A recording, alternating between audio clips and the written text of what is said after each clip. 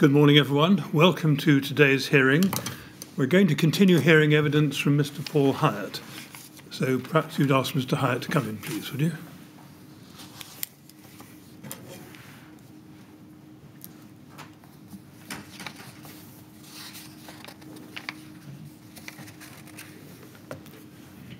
Good morning, Mr. Hyett. Morning. Ready for another day's answering questions? Yes, sir. Thank you very much. Right, Mr. Millett, off you go. Thank you, Mr. Chairman. Good morning, Mr. Hyett. Good morning. Um, I want to turn back to the topic, please, of insulation and specifically Celotex RS5000. Could we please turn to CEL 50416? This is the rain screen cladding compliance guide, uh, which was published in February 2015, uh, as I think you'll be able to see if we go to page five. If we can go to page five, um, you can see the date um,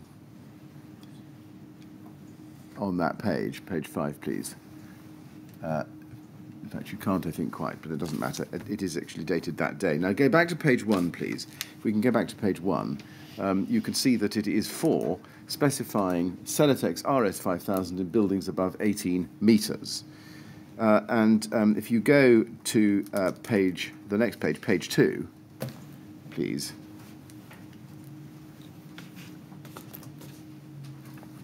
Uh, that uh, says at the very top, this document provides guidance on complying with approved document B2, ADB2, for external wall cladding systems fixed to steel frame or masonry constructions. It provides a step-by-step guide to an alternative route to compliance for ADB B2 through meeting the performance criteria set out in BR 135 through testing to BS 8414 2002 or BS 84142 2005. Um, just there, do you think that in this respect the guide has made a distinction between the linear route to compliance with ADB and the alternative route to compliance through meeting the performance criteria set out in BR 135 uh, through a test, a full scale test? I, I was thinking that um, just as you were formulating the question, it isn't as clear as it should be. In what respect is it not as clear as it should be, do you think? Um, it provides a step by step guide to an alternative route to compliance for ADB2. Um,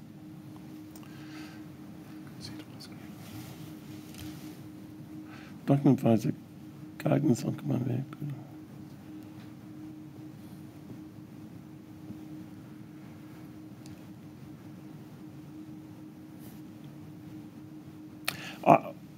I, think I've got to read it twice or three times myself, and I still wouldn't get quite to grips with this. I think I'd be turning and asking for, for help. But um, um, perhaps I can try the question a different way. When looking at that little paragraph I've just read to you, putting yourself in the shoes, uh, as you're of course asked to do so, of the reasonably competent architect, uh, would the reasonably competent architect look at that and think to themselves, well, this compliance guide is telling me that the uh, um, product complies with approved document B2.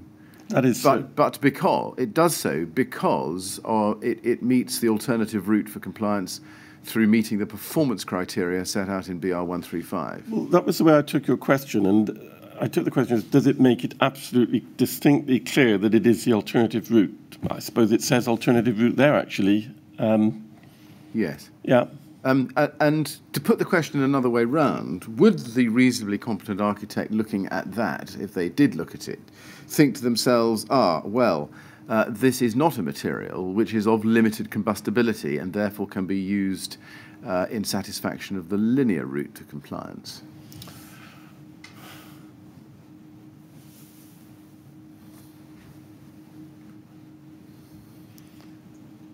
I don't know.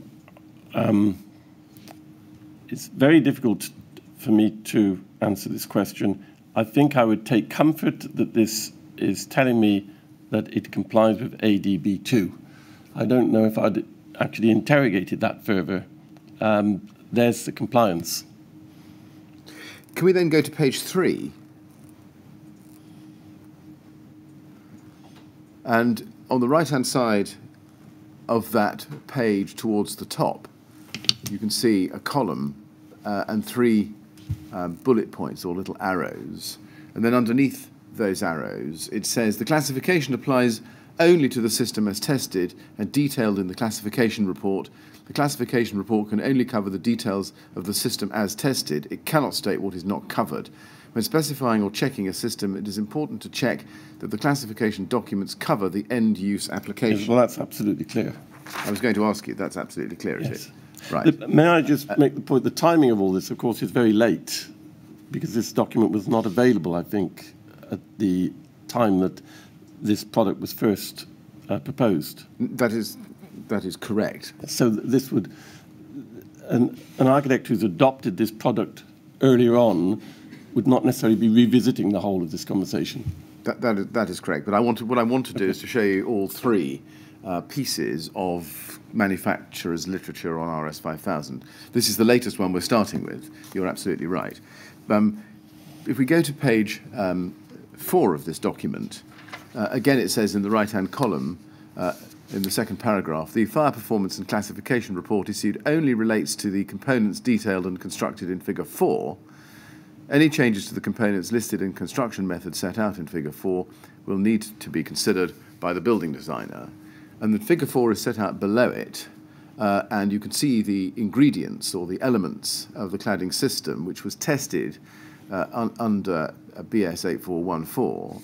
And if you look above uh, the diagram to the middle column, uh, there's a little um, heading. The system tested was as follows in bold, and you can see that there are six elements to that, uh, starting with 12 millimeter fiber cement panels. Just looking at that, um, again, from the perspective of the reasonably competent architect, is there anything misleading or unfairly presented uh, in uh, either in this page, either in the right-hand column or the left-hand column I've shown you, the middle column I've shown No, well, I've seen this before, and it's absolutely clear to me that this is not the arrangement into which the Celotex was put on the building. And that would be clear to an architect looking at this. Thank you. Let's next go, please, to CEL uh, 6013. This is the rain screen cladding specification guide, uh, also produced by Celotex, but this time in August 2014. Excuse me, Mr. Millett. It would also be clear to an architect, even before reading that, that any test, any alternative route that involved a test, that test would have to be precisely as per the building. When you say the test would have to be precisely as per the building, do you mean that the elements Yes, and the cor- design of the elements Correct. hanging together Correct. would have to be precisely as Yes. proposed for the building? Yes, and any deviation from that requires specialist advice. Thank you. Now let's uh, look at this document. This is, as I say, dated August 2014. Um, it's called the Rain Screen Cladding Specification Guide, as you can see there. If we go to page five, please, uh, we can see on the right-hand side uh, of the page, uh, uh, third paragraph down, that the fire performance and classification report for Celotex RS 5000 only relates to the components detailed above. Any changes to the components listed will need to be considered by the building designer. And then if you look at uh, the left-hand side of the page, you can see uh, rather more information. Under fire performance in big red letters, uh, it says uh, rain screen insulation, Celotex RS 5000 is class 0 fire, related, fire rated, as described by national building regulations. And then below that it says building above 18 metres, Celotex RS 5000 has been successfully tested to BS 84142 of 2005, fire performance of external cladding systems, test method, etc., meets the criteria set out in BR 135 and is therefore acceptable for use in buildings above 18 metres in height. And note the word therefore there. The system tested to BS 84142 2005 was as follows. And there again, you've got the six elements of the test.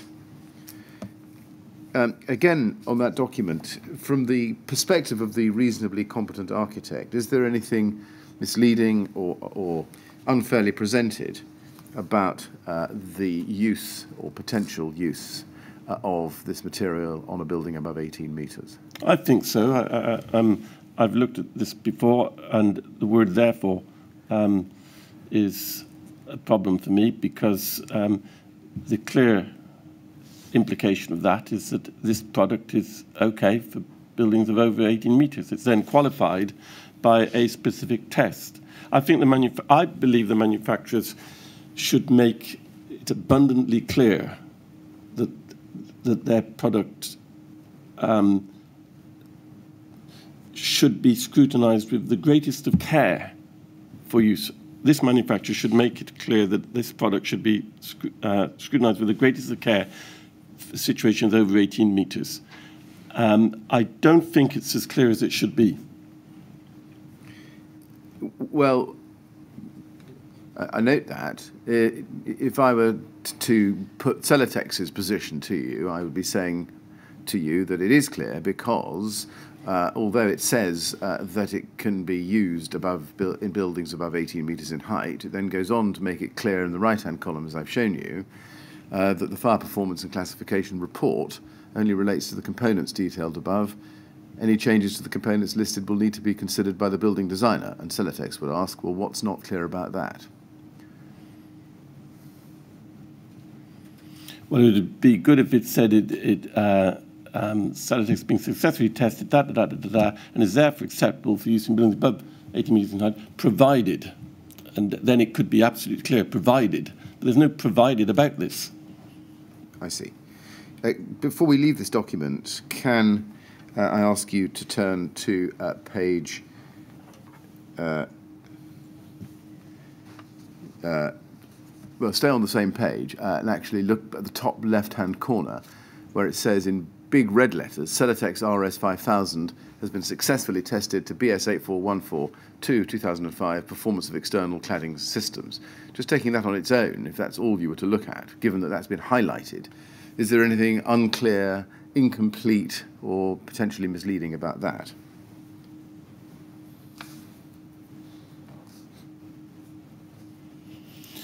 Um, no, um, but we're we're certainly at the edges in all this. The, the moment that the product, the moment that the architect is departing from clear compliance with the linear route in ADB2, I think specialist advice is needed. Finally, can we look at CEL 401240, please? This is the Celotex RS5000 product data sheet, uh, and it's dated the 1st of August 2014. Um, first, can I just ask you to look, please, at the big pink banner at the head of page one, where yeah. it says Celotex RS5000 premium rain screen cladding board, brackets, suitable for buildings above 18 metres in height, close bracket. Uh, what would a reasonably competent architect take from that? Well, that, that goes to the point I was um, making, perhaps not as eloquently as I should have earlier, which is that there's no qualification to this. And then if we look so the, sorry. I beg your pardon. So, so do, do, continue. No, it's my fault. Um, I paused. There's no qualification to it, and so I think the, the architect can take comfort from it, um, may take comfort from it. Now, it can be argued that the architect should look further and harder, but I believe that Celotex all manufacturers have a duty, particularly in relation to issues like fire, to make sure that every assistance is given to those who will be specifying and making the right decisions. And this is clearly mis. I think that the, the potential here is for this to be misunderstood. And manufacturers should not, um, sh should do their best to avoid that. Do you, do you think the uh, competent architect would read this as if it said generally suitable, as opposed to suitable in specifically tested circumstances. No, I think generally suitable, Su suitable for buildings above 18 meters in height. So it's not, it's not qualified. I, I'd like to put it, if I may, into another context as well. I've mentioned in my report the dangers of condensing, I'd use the word crushing, decision making into such a short time. When I began my career, this is not a history uh, lesson, but when I began my career, the process of developing a design and a, a specification was very orderly and took longer, or more time was given up front. We now have a situation through design and build where there is disorder.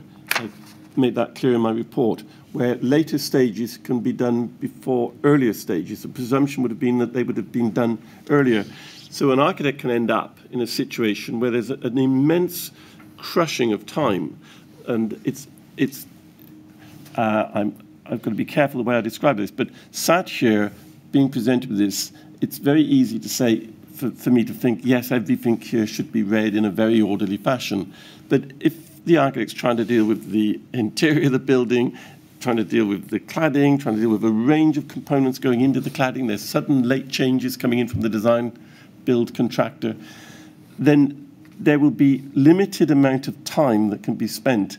And it's for that reason it's very important, I think, that the design team are assisted by the those who certify and those who manufacture with information which is clear, in the interests of not having terrible outcomes. Thank you. Now, I'm going to show you one or two further parts of this document. Um, before I do that, and while I'm on page one here, you can see that in the first part of the page, first part of the text on that page, there are five bullet points underneath the sentence. Yes. With Celotex RS5000, you are specifying an insulation board that, and in the third bullet point says, has class naught fire performance, and then it says throughout the entire product in accordance with BS 476. Can you help us uh, with what a reasonably competent architect, let's say reasonably familiar with approved document B, would understand by that sentence?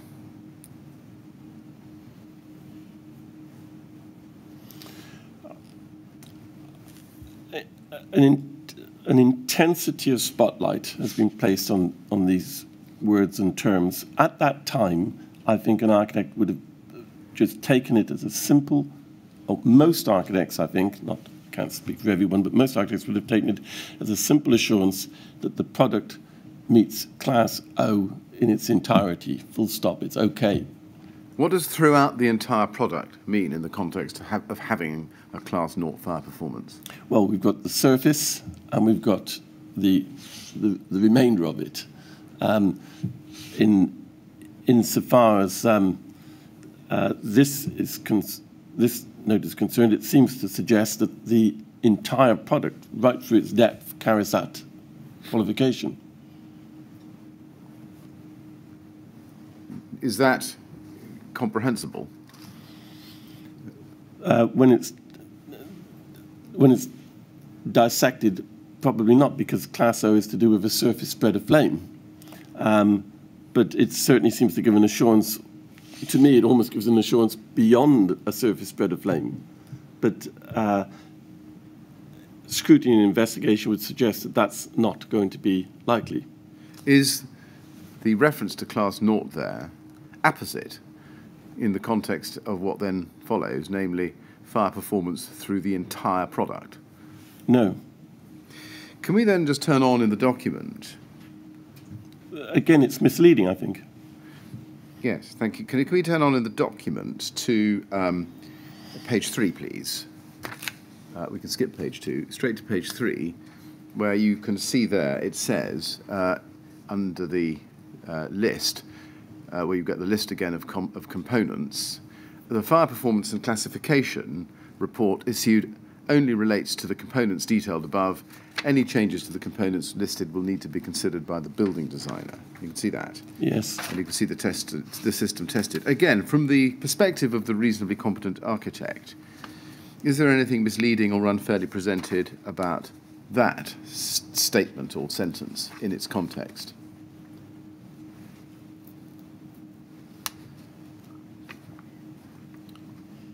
Well, no, I, I, I, can't add any more to what I said um, earlier, except for I would just ask. I've looked at this document before, but I don't remember. Is that pink banner across every page of the document? Uh, it's certainly. You're right. It's on page three. If we flip back to page two, it is also there. So I think the answer. And how many pages does the document have, sir? Uh, well, let's look on. Uh, let's look on to page. Uh, f- I, am not sure there is a page four. You're asking me a question, uh, which electronically I'm not able to answer. Um, but um, well, every page we've seen has got that banner on the top. Yes, And certainly, certainly that's right. it seems to me to be reinforcing, There, there isn't a page four, I can tell you. So every page. well, the, the, the flag line of this seems to be reinforcing at every point that this is a product suitable above 18 meters in height. I, I understand the, the qualification. I can't add any more to what I said before. Yes. Uh, can I ask you to go then back to your report, your supplemental report, please, at uh, PHYS 602? Uh, and I'd like to start at page 50, please, just to give you the context. And let's look at paragraph 2.5.5 there. Um, which you're talking here about uh, the Studio E's opening statement placing heavy emphasis on in, its entitlement to rely on the advice and expertise of others. Uh, in this respect, it mentions within these paragraphs Max Fordham, Exova, Rydon, Harley, and Celotex. Of particular importance is Studio E's statement of paragraph 12.17, which I quote as follows Studio E relied on the advice of the appointed specialists and suppliers that the products being considered were suitable for the intended purpose, and Studio E considers it was reasonable and appropriate for it to do so. And then if we turn the page, page 51, we can see what you say at paragraph 2.5.6. You say this Whilst I fully understand that construction involves teamwork between both individuals within companies and across different companies that are independently appointed, in my opinion, an architect cannot, in circumstances of failure, offer as mitigation the fact that he stroke she had relied upon and indeed accepted the advice of others where that architect should either have known or routinely discovered through research and or interrogation that such information or advice was wrong. Now, just taking that paragraph and applying what you say there to uh, these three Celotex pieces of product literature about RS 5000, um, what approach do you say an, ar- an architect, a reasonably competent architect, should have taken to those pieces of literature? Well, I, I go back to earlier comments. I think during this examination, I think that the architect um, should have known that they're going down the linear route. It, uh, 12.7 is paragraph 12.7 of ADB, ADB, um, AB approved document B2 is absolutely clear. Uh, limited combustibility is required.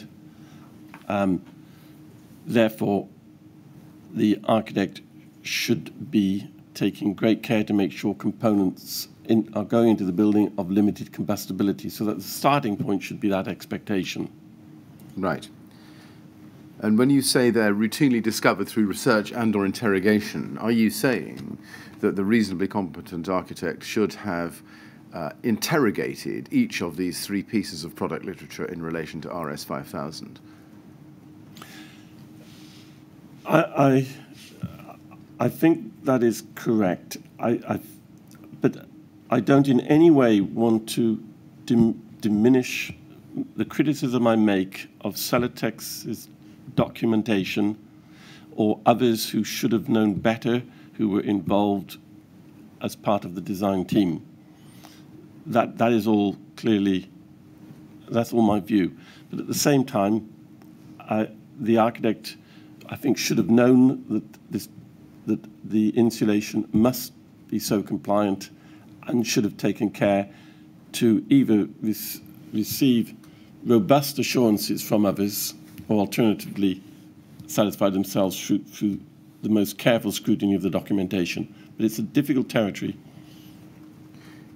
Do you take the view that the Celotex RS 5000 product literature read as a whole makes it clear, reasonably or sufficiently clear to the reasonably competent architect that the fire performance and classification data relates only to the system tested in its exact components and setup, and that any changes to the components and construction method would need to be considered by the building design? It, th- th- that, is, that is the case.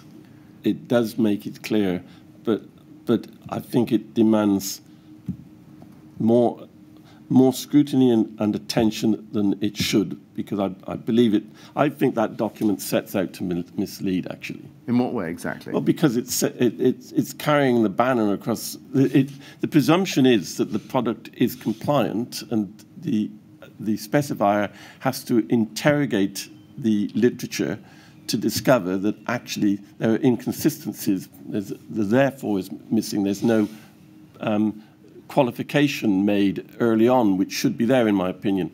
So yes, when the architect, when the specifier studies the document fully, it should anybody specifying should be able to read that document. That's clear. And on reading that document, they should make the conclusion that it is not appropriate. That is clear. I don't think that, it's responsible of a manufacturer to make that such a hard, to make that such heavy going, such hard work. But it should have been clear. You say it should have been clear, but you also say that it was clear to the reasonably competent architect. I'm just trying to well, that's my, my, tease out this, this, yeah, well, where the line exactly should fall. Yes. Well, I understand, and I, I have to say that the it it it should be clear to a, uh, a competent. A, the architect should have read it, and it should be clear. The architect should have read it, and a competent architect would have understood it.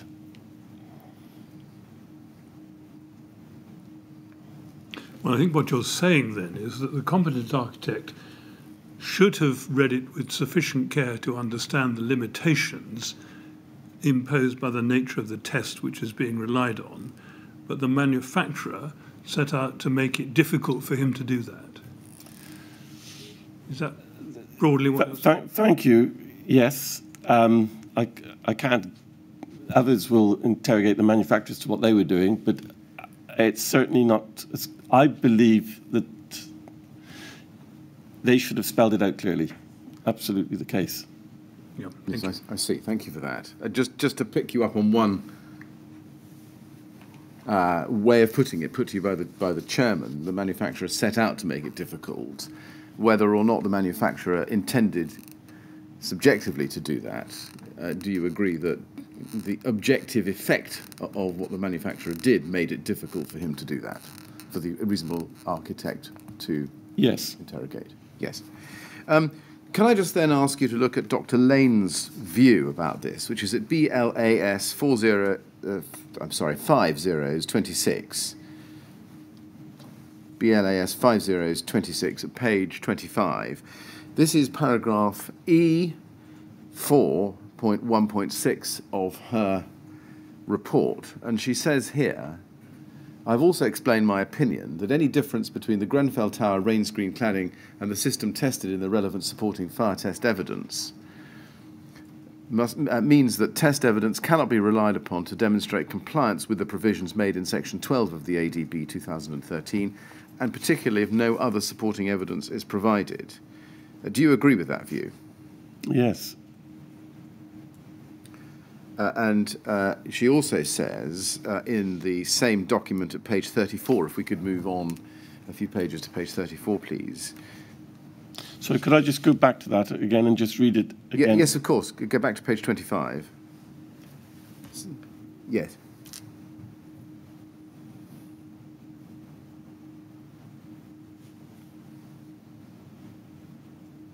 Yes. Yes, you agree with that? Yes. Yes, thank you. Can we then move um, uh, to page uh, 34, where she says at um, E438, uh, and also table E6, uh, she says, uh, this test report uh, does not, therefore does not classify the inspected as built uh, Grenfell Tower rain screen cladding system. It cannot therefore be relied on to demonstrate compliance with the provisions made in section 12.5 of, of the ADB 2013. You see that? Yes. Do you agree with that? Yes, yes.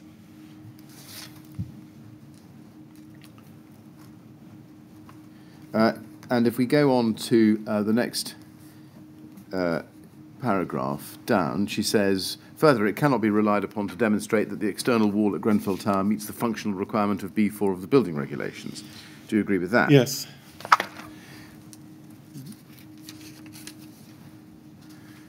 D- does that lead to this conclusion, in your opinion, Mr. Hyett, that Studio E, uh, if, if they had been acting as the reasonably competent architect, uh, should not or would not have allowed R- Celotex RS5000 to be specified or installed as part of the rain screen cladding system at Grenfell Tower? Because the components of that system differed from that described as having been tested to meet the performance criteria in BR135. That, that I, I agree that, and that's consistent with what I've said in the report. Do you also think that further testing or a desktop study or perhaps a holistic fire engineering report should have been commissioned in order to be able to assess the rain screen cladding that was to be specified for installation? Yeah, if they were, go- yes, if they, when they were going to use it, yes. And that means that there was, as things stood, is this right, no basis or no reasonable basis upon which Studio E could reasonably have concluded that the rain screen cladding system, as specified and installed at Grenfell Tower, was compliant. No, I don't think that they could have. I, I agree with that. Um, I would have uh, not bothered with any testing. Time wouldn't have allowed it. Time would not have allowed it, and I would have realised that um, it's a non-starter. But there we go. And, to the extent that, is this right? To the extent that Studio E was seeking to rely on other design and construction professionals working on the Grenfell Tower project, uh, they were unreasonable in doing so in relation to the Celotex uh, material, the Celotex product. Well, um, I think they've got good reason to be. I, I said this yesterday. Uh, they've got good reason to be more than unhappy that they've been. Uh, I used the term you know, fed a curved ball. Had Max Fordham's suggest a material which clearly was unlikely to comply. That's the first point. And I think that they've got more every reason to be very unhappy with Exova for not having pointed it out, having received the uh, stage C and stage D reports. That's all true, but that doesn't uh, exonerate um, Studio E, in my opinion. Now, we talked about the differences between the system installed and the system as described in the Celotex literature as having been subjected uh, to a BS 8414 test to meet the BR 135 criteria. Uh, do you agree that those systems were mutually completely different? Yes. And just to finalise on this point, while we've got page 34 of, uh, uh, of Dr. Lane's report up here on the page, Sorry, that's the system that was in the test against the system that's been installed. yes. Yes, absolutely. Yes. Absolutely, yeah. Uh, and just to round off on this point, while we've got this page in front of us, could you please look at E436, E4.3.6 at the top of page 34 of Dr. Lane's report? She says there, I conclude from my comparison that there are multiple dif- significant differences between the rain screen system tested in BS 84142 2005 and she describes the title of that, produced by BRE Global on the 1st of August 2014, and BS 84141 2015 and A1 2017, test on a ventilated Marley Eternit rain screen system with Celotex RS 5000 insulation on the 30th of April 2018, when compared with the as-built Grenfell Tower construction. Um, to the extent that you're familiar with what she's referring to there, would you agree with it? Absolutely.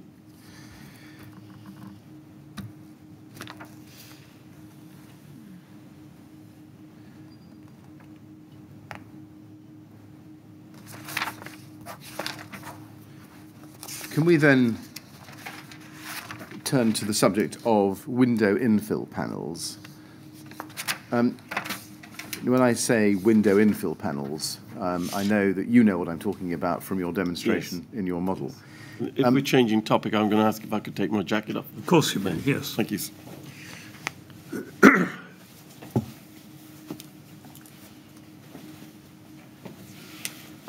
okay. Right. Um, is it your opinion that paragraph 12.7 of approved document B applies to products with an insulating core, such as the window infill panels? Yes, I've made that clear in the report. And is it your view that win- the window infill panels constituted a part of the external wall construction rather than the window? I believe that to be the case. I think th- th- others could take a different view, but I believe it is. Let's just look at the um, NBS specification. SEA uh, 50169, please. And I'd like to take you to page 145 in that document. This is L10, which is described as windows, stroke roof light, stroke screens, stroke louvers. And I'd like to show you paragraph 332 at the top of the page. Aluminium windows, fixed unit aluminium. And then about a third of the way down, you'll see the second bullet point. Do you see? It says panel stroke facing type, aluminium faced insulated panel, comprising core insulation, aluminium lining panel, and integrated channel profile around perimeter, fully air sealed at edges to achieve minimum U value of 0.15. Yes, I've um, seen that. Given that that is in the NBS specification uh, for uh, window infill panels, at the windows part of the specification, how can you explain why you say it's actually part of the external wall rather than part of the, the windows?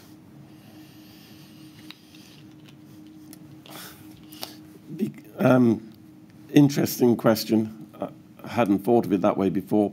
The, the, um, the, window, the windows, in the sense of those parts of, I'll begin, if I may, with the fact that we've got two columns. And between the columns, there is what I've described as ribbon window system.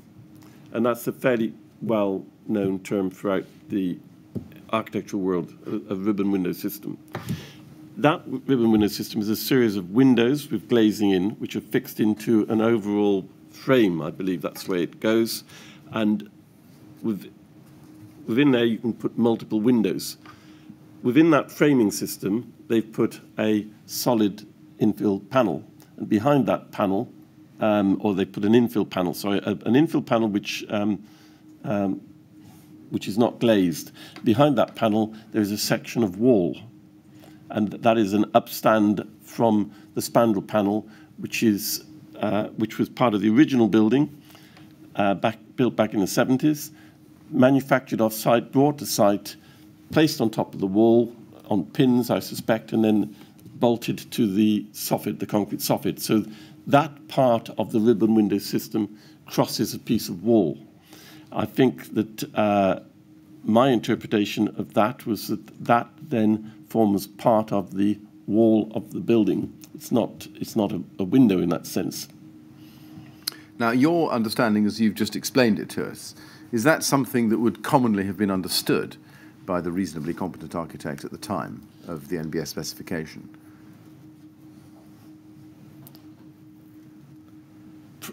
Probably not. Uh, can you give us an insight into how common the view was at the time that um, insulated infill panels such as those which were part of the windows as per the NBS specification, should in fact have been treated as part of the external wall construction instead? That I'm afraid I cannot do because I have absolutely no, no basis upon which to give any advice there. I've, I've not questioned others. I've seen no reports about it. Right. I've, I know of no other circumstances like this, other cases like it. I have no idea. All I can say is that as I came to this um, uh, um, piece of work, I interpreted it that way. Can we go to your uh, supplemental report, please, at PHYS 602 at page 38? And we have here paragraph 2.3.47. And you say uh, here, uh, in the uh, second half of the paragraph, five lines down, you say, therefore, a detailed drawing for these elements of the works was required to show the design principles of the envelope, to brief the specialist subcontractor for the cladding, and to indicate the arrangements for design of the internal window lining and insulation and packing behind those linings, for which the architect was responsible under stages E and F1 for tendering purposes and under stages F2 and K during the post-novation period.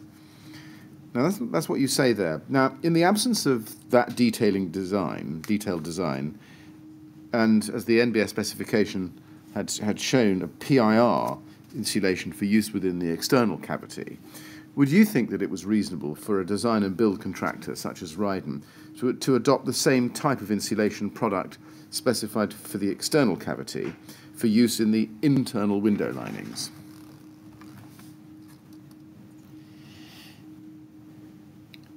I was trying to read the first part of that paragraph as well Yes, because I'm sorry, I you took me in at, at, at the fifth line, sixth line. May I read the first part as well? Yes, of course.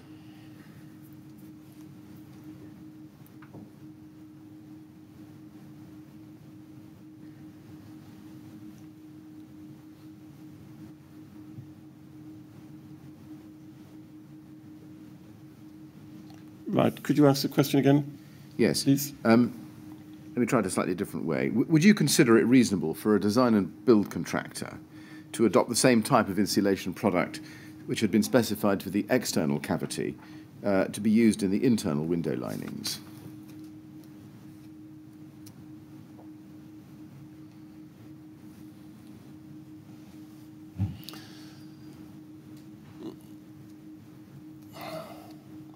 I'm not. I'm not happy with a contractor drawing his own conclusions as to what can be used where. The architect's information uh, with the employer's requirements uh, made reference to um, a different arrangement for the window linings, head, jambs, and sills. I think that a contractor should not presume, not make presumptions that arrangements shown elsewhere can be applied. Um, there was a, a, significant switch to those linings. The plastic um, uh, sill, jambs, and head, that's a, a very significant switch on its own. And then the packing, insulation, and or filler material, because it was functioning in all those ways, uh, behind it. And I, I think that it's a significant deviation from the employer's requirements and um, authority, for want of a better term, should have been sought for that. Thank you. Um, before we leave this topic, let me show you something else within the NBS specification that might give us a clue. Can we go, please, to SEA 50169 at page 243?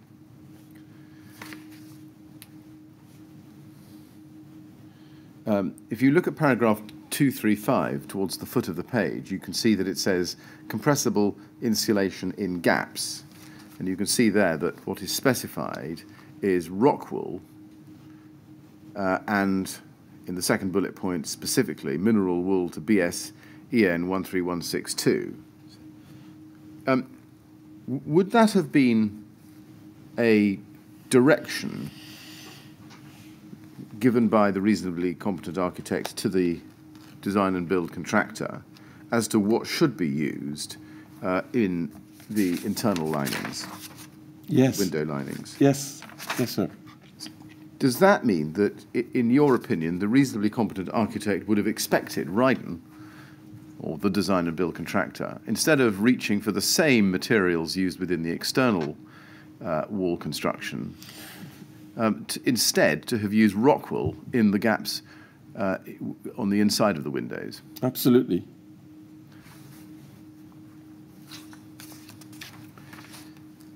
I'm now going to turn to a new topic completely, which is cavity barriers. Can I ask you to start, please, by going to your report at page uh, tw- 110, PHYR 5028 at page 110. PHYR 5028 at page 110. And we can see here, uh, you, you say at paragraph 3.11.3, uh, and this is in the context of your indicative approach, uh, you say, for the avoidance of doubt, this, which is your indicative approach, should not be taken as a design that HKS architects would adopt. Now, is the indicative approach that you've adopted in relation to cavity barriers an approach that you personally or HKS as a firm have ever actually adopted in practice? Well, The exact arrangement that I've developed there, no, Yes, we, we haven't had a situation like that, and so no, we haven't adopted that exact arrangement. Why did you prepare an indicative approach? Um, I, I felt that it would be useful to the inquiry for me to test whether the um, general approach to the overcladding of the building could have been carried out in a way that was functionally equivalent to the intentions, that's the U value to be achieved, uh, aesthetically um, similar. Um, so I thought it would be useful for the inquiry to, to see whether that could be achieved. And in the doing of that, um, I, I learned that I was also able to demonstrate the processes that an, an architect would go through, typically in solving a problem like this. Now, there's no um, cast iron method statement. You can't pull a book down off a shelf that tells you how to do it. But as I said yesterday, um, or the day before maybe, uh, we're problem solvers. We face a new problem, and every building is a prototype, actually. It's almost true. Occasionally get rep repetition, but almost every building is a prototype. This was a prototype. Um, they're facing this, it's a bespoke design. And so they're, they're going to piece this whole thing together. And it seemed to me that if I did an indicative scheme, I would show how close it would have been possible to get the overall solution um, to comply with ADB2. And secondly, it would reveal the process that an architect would routinely go through. And I felt that, that in the end, actually, looking back at it, I think it's the process that has been more revealing and interesting than the product. Uh, because I, I, I mapped out, I reported carefully on the process that I actually adopted to solve this, uh, to solve this problem. And I, I hope that that gives useful insight, because against that, in, in section four of my report, I've criticised what was done, but I've also been able to criticise the way in which things were done. Yes, thank you. Could you explain the role that a review of the building regulations and the associated guidance had in the preparation of your indicative uh, approach? Yes, I, I, place great importance on um, this kind of work. Um, I think at the, at the outset of a, of a project, uh, it's very important to do. I think I called it a code review. Uh, you did. And it would be wrong of me to say that at the outset of every project, an architect must sit down and do a code review.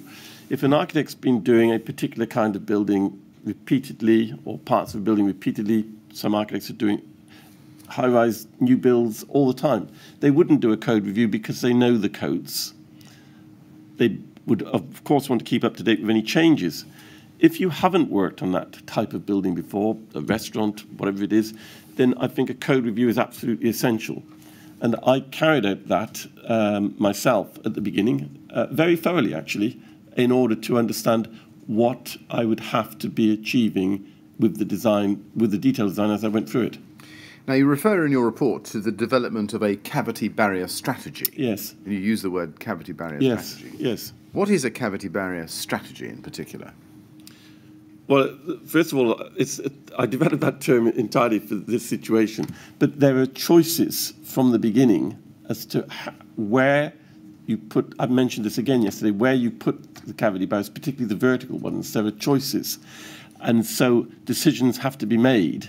And the only way I can think of sensibly doing that is to holistically get uh, the, the entirety of the building in the mind, look at all of the different circumstances, all the different situations that have to be dealt with, and then piece together an approach and there may be some um, some adjusting, some rationalizing, but piece together an approach which is as clear and as simple as possible that will deal with every eventuality that is found in the building. Out of that, we end up with a thing that's called, and I remember this right from the beginning of my career, you end up with a thing called typical details and specials. The typical details will deal with usually 90% of the building.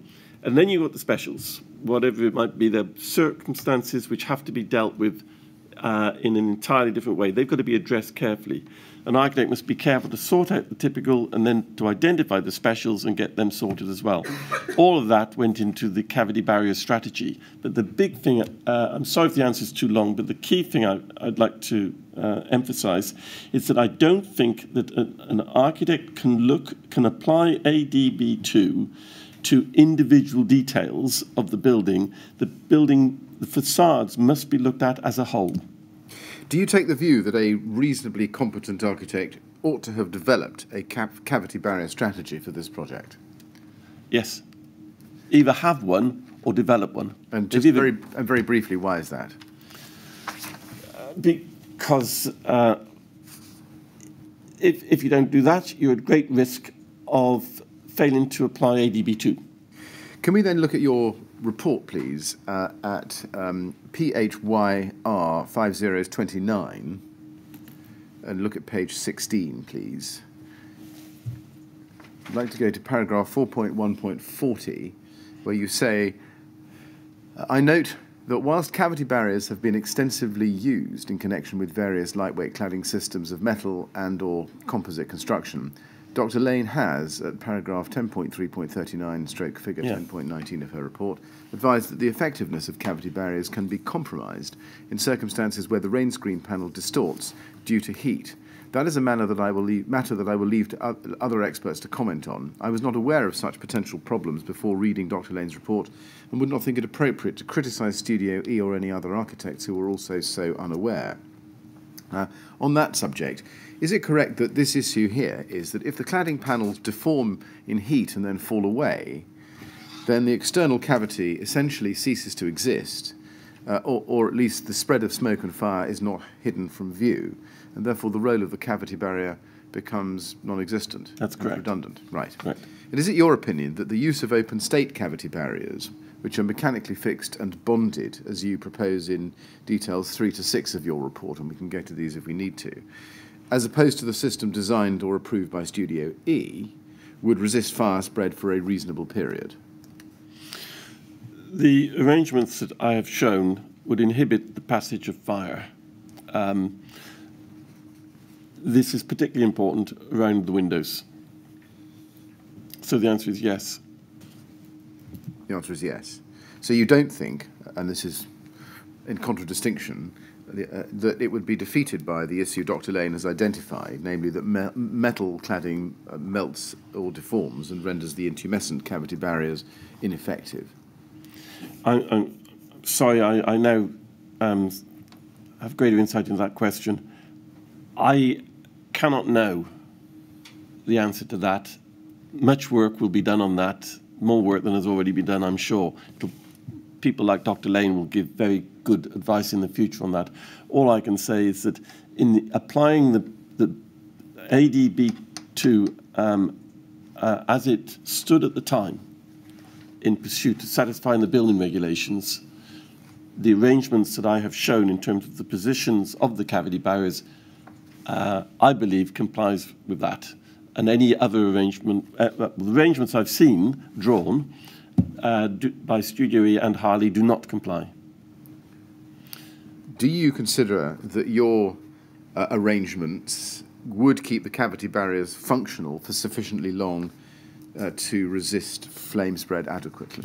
Um, that is a question I, I, I, simply cannot answer because uh, the ferocity of the fire due to the, the fuel available to it. Fires burn at different temperatures. I mean, we can think of 9-11, where plane 30 tons of fuel, high-octane fuel, launched into the building. That, that gives an instantaneous fire of the most tremendous heat. That is a different fire to the kind of fire you might get in a living room where pieces of furniture ignite and take a relatively long time to achieve um, their full heat and probably don't achieve a heat anything like the first one I described, the 911. I, I was involved a little bit in commenting on that, that's why I know. So it's the intent, and I did work on the fire research test station, as you know. It's the, it's the intensity of the heat and the speed with which that, um, that fire accelerates, which is the problem. I have no way of knowing how long the cavity barriers would have lasted in those circumstances. What I can say is that they would have done a better job than what was shown, because what was shown didn't exist in some respects. But the key part is around, I, I believe that the, the, the perimeter of the windows, and particularly the jambs, and I don't want to tread on the toes of the specialist fire um, um, experts, but it's evident to me that the head and the sill had a level of protection because of the aluminium shelf angles. Now, those don't satisfy ADB2, but nevertheless, I've seen them on the building and they remain in many cases reasonably intact. The, the, the weakness was the jambs, as the model shows very clearly. There we have the 120 millimeter vertical gap for something like a meter's height. Yeah. And we're going to come to we're going to come. Okay, to, I'm sorry. But thank you for that. Now, can I ask you to go to PHYR 5029 at page 73, same document, page 73.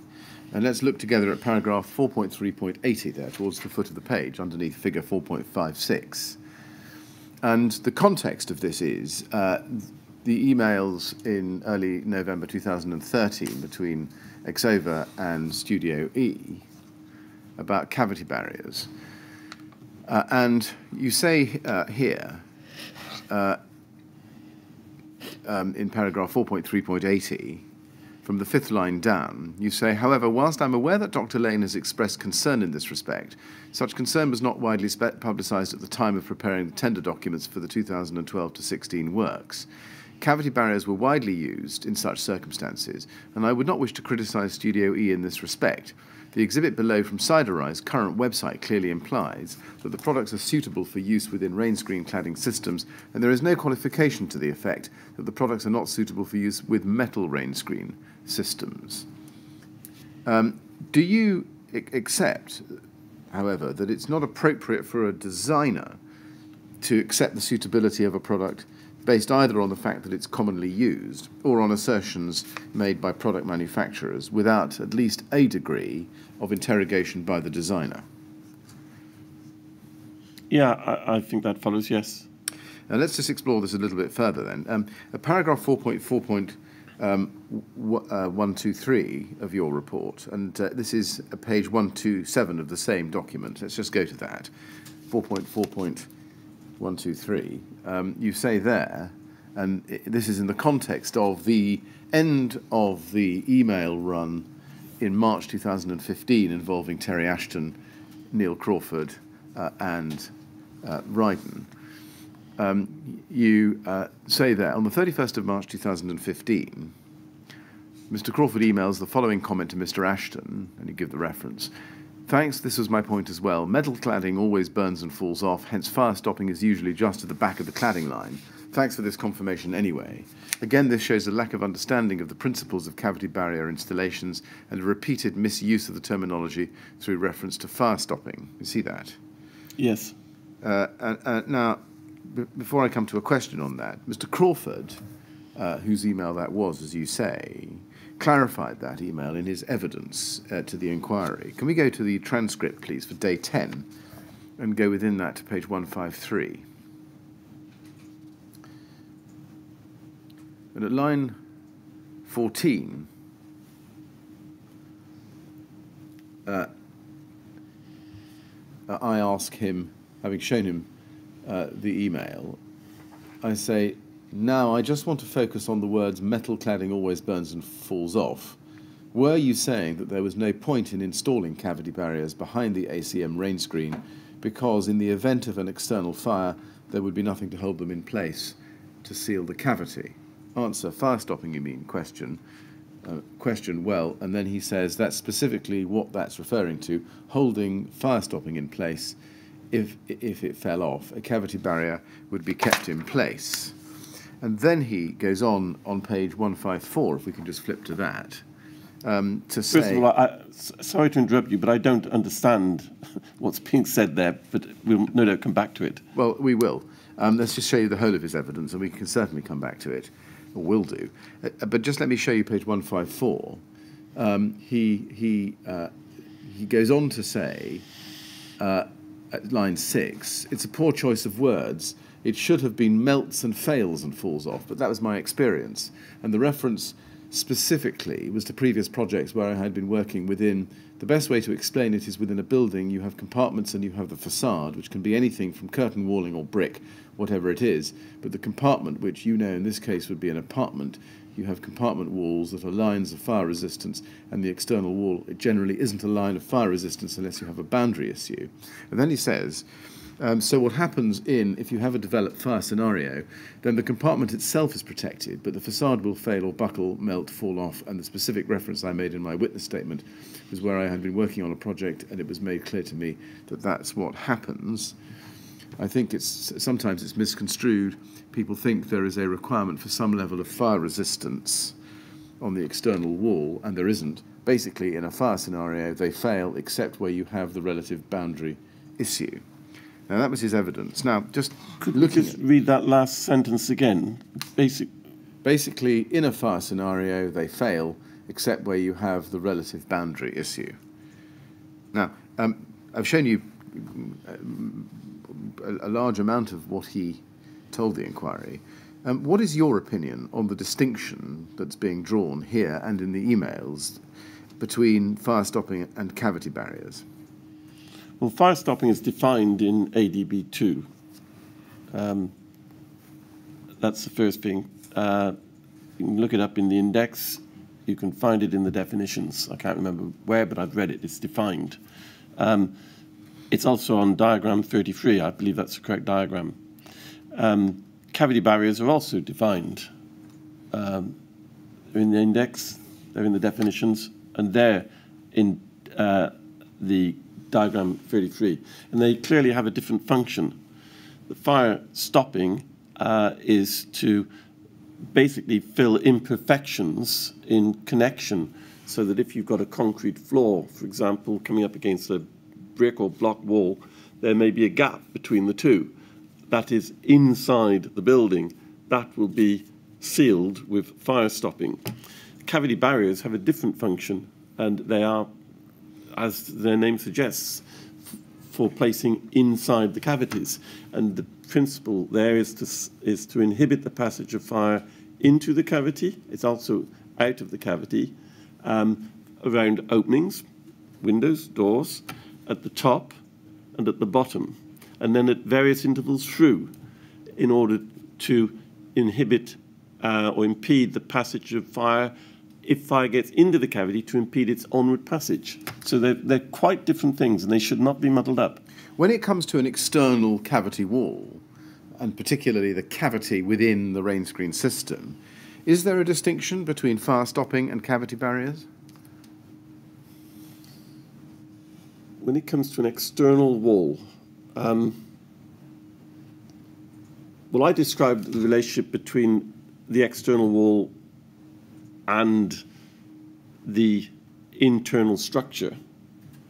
Yes. I haven't seen, uh, I don't remember on diagram 33 seeing any fire stopping actually within the external wall itself. All the all that is shown there is cavity barriers. Do you agree that there's no material distinction between the effectiveness of a cavity barrier and the effectiveness of fire stopping if the metal cladding were to fail and fall off, exposing the external cavity? Sorry, could you ask that again? Yes. Is there a let me try it differently. Is there a material difference between the effectiveness effectiveness of a cavity barrier on the one hand and fire stopping on the other? If in, in in any case the metal cladding were to fail and fall off in the event of a fire, exposing the Well, there would be a passage round either. So um, the answer is if there's no if there's no cavity left because one part, one leaf of the cavity is gone, whatever it's made of, um, then whether it's fire stopping or a cavity barrier, that will be there'll be a route around it. If ACM, such as the Reynobond PE55, was going to fail and fall away in a fire, and I take your point about it may depend upon the magnitude of the fire, but, but generally speaking, if it was going to fail and fall away, do you consider that an alternative approach to the cavity barrier strategy should have been adopted?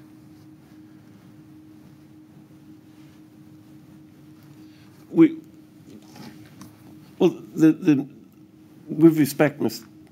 um, the missing word there is, is time. It's the length of time.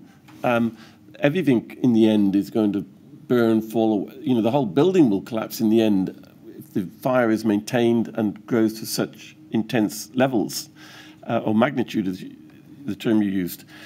The issue here is to provide protection for the periods that the ADB2 guidance gives. That's what the uh, um, the requirement of the design team. That was the requirement that the design team had to comply with. Um, so yes, the, the cladding um, will eventually burn and fall off. Yes, um, any any cavity barriers that are left at that time will be breached, of course. But ADB2 is giving guidance to inhibit the passage of fire for a period of time, and that's for the fire brigade to get, etc., etc. You know that story. And so I, I, think, in a sense, I, I'm, I'm not moved by the fact that the cladding will fall off. Brick walls collapse under intense fire. Uh, coming back to your indicative approach, can you just tell us, in uh, as briefly as you can, what it is about your indicative approach so far as concerns the cavity barriers, uh, which would give the fire brigade more time uh, than they had with the actual cavity barriers actually installed on the building? Well, if I may, there's, there's two parts to that question, and I'll just be very quick with the first. The first is the difference with the indicative design that I've shown is that it complies, I believe, with ADB2 full stop. So if there's a fault with ADB2, then that's another issue, but it complies with that. It will take specialists to advise how long, against various degrees of magnitude of fire, that situation that I've shown may have delayed the fire. But I am absolutely, and I, I can't qualify my answer with that level of information. I haven't done, I wouldn't be capable of doing the investigations.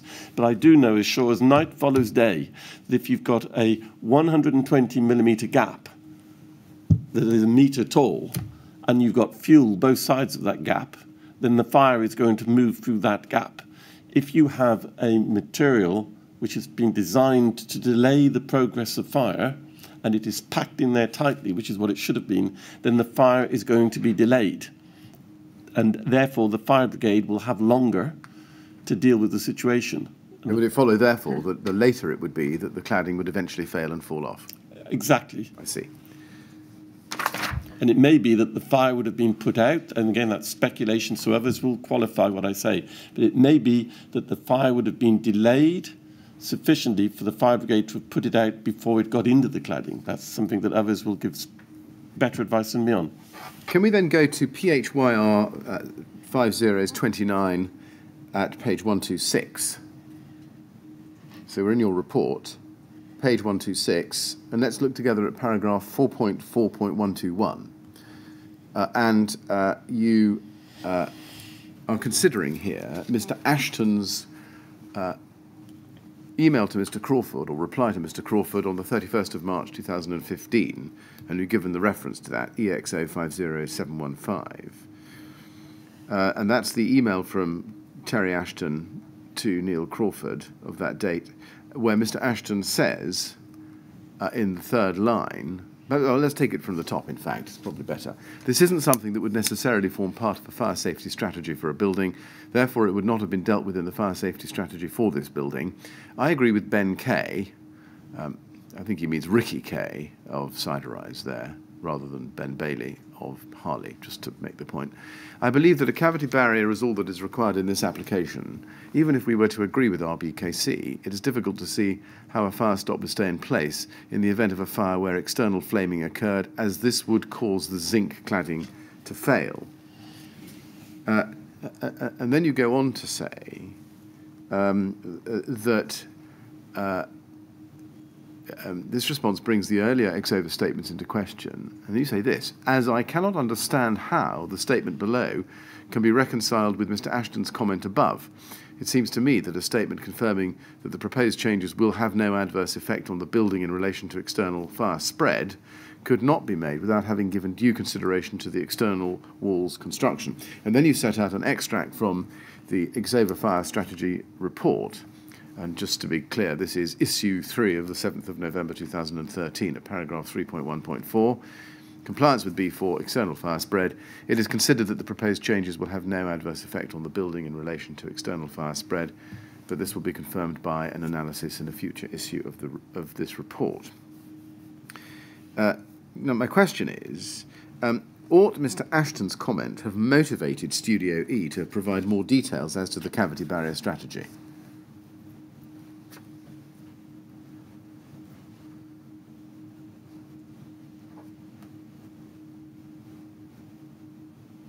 Yes, I, I think that's correct.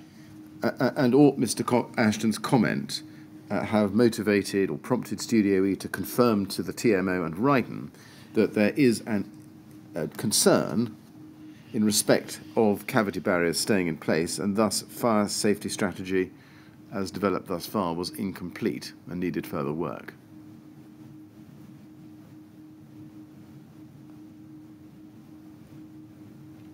Sorry, when I answered the previous question, I was answering it on the basis that Studio E should have ensured that Mr. Ashton had all the information that he needed to answer the, the, the question, because I think that there was a lack of clarity on Mr. Ashton's part as to how the external wall was, was um, uh, to be um, fabricated.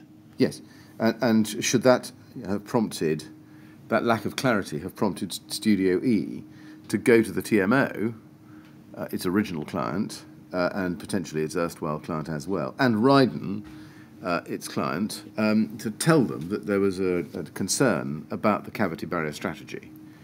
Well, yes. I person, I, I, prefer not to bother clients too often during a, a, a project, but I think that um, this was certainly a time for everybody to get their heads around around the issue. Very good. And as an architect, would you reasonably expect the fire engineer to limit their advice to cavity barrier placement?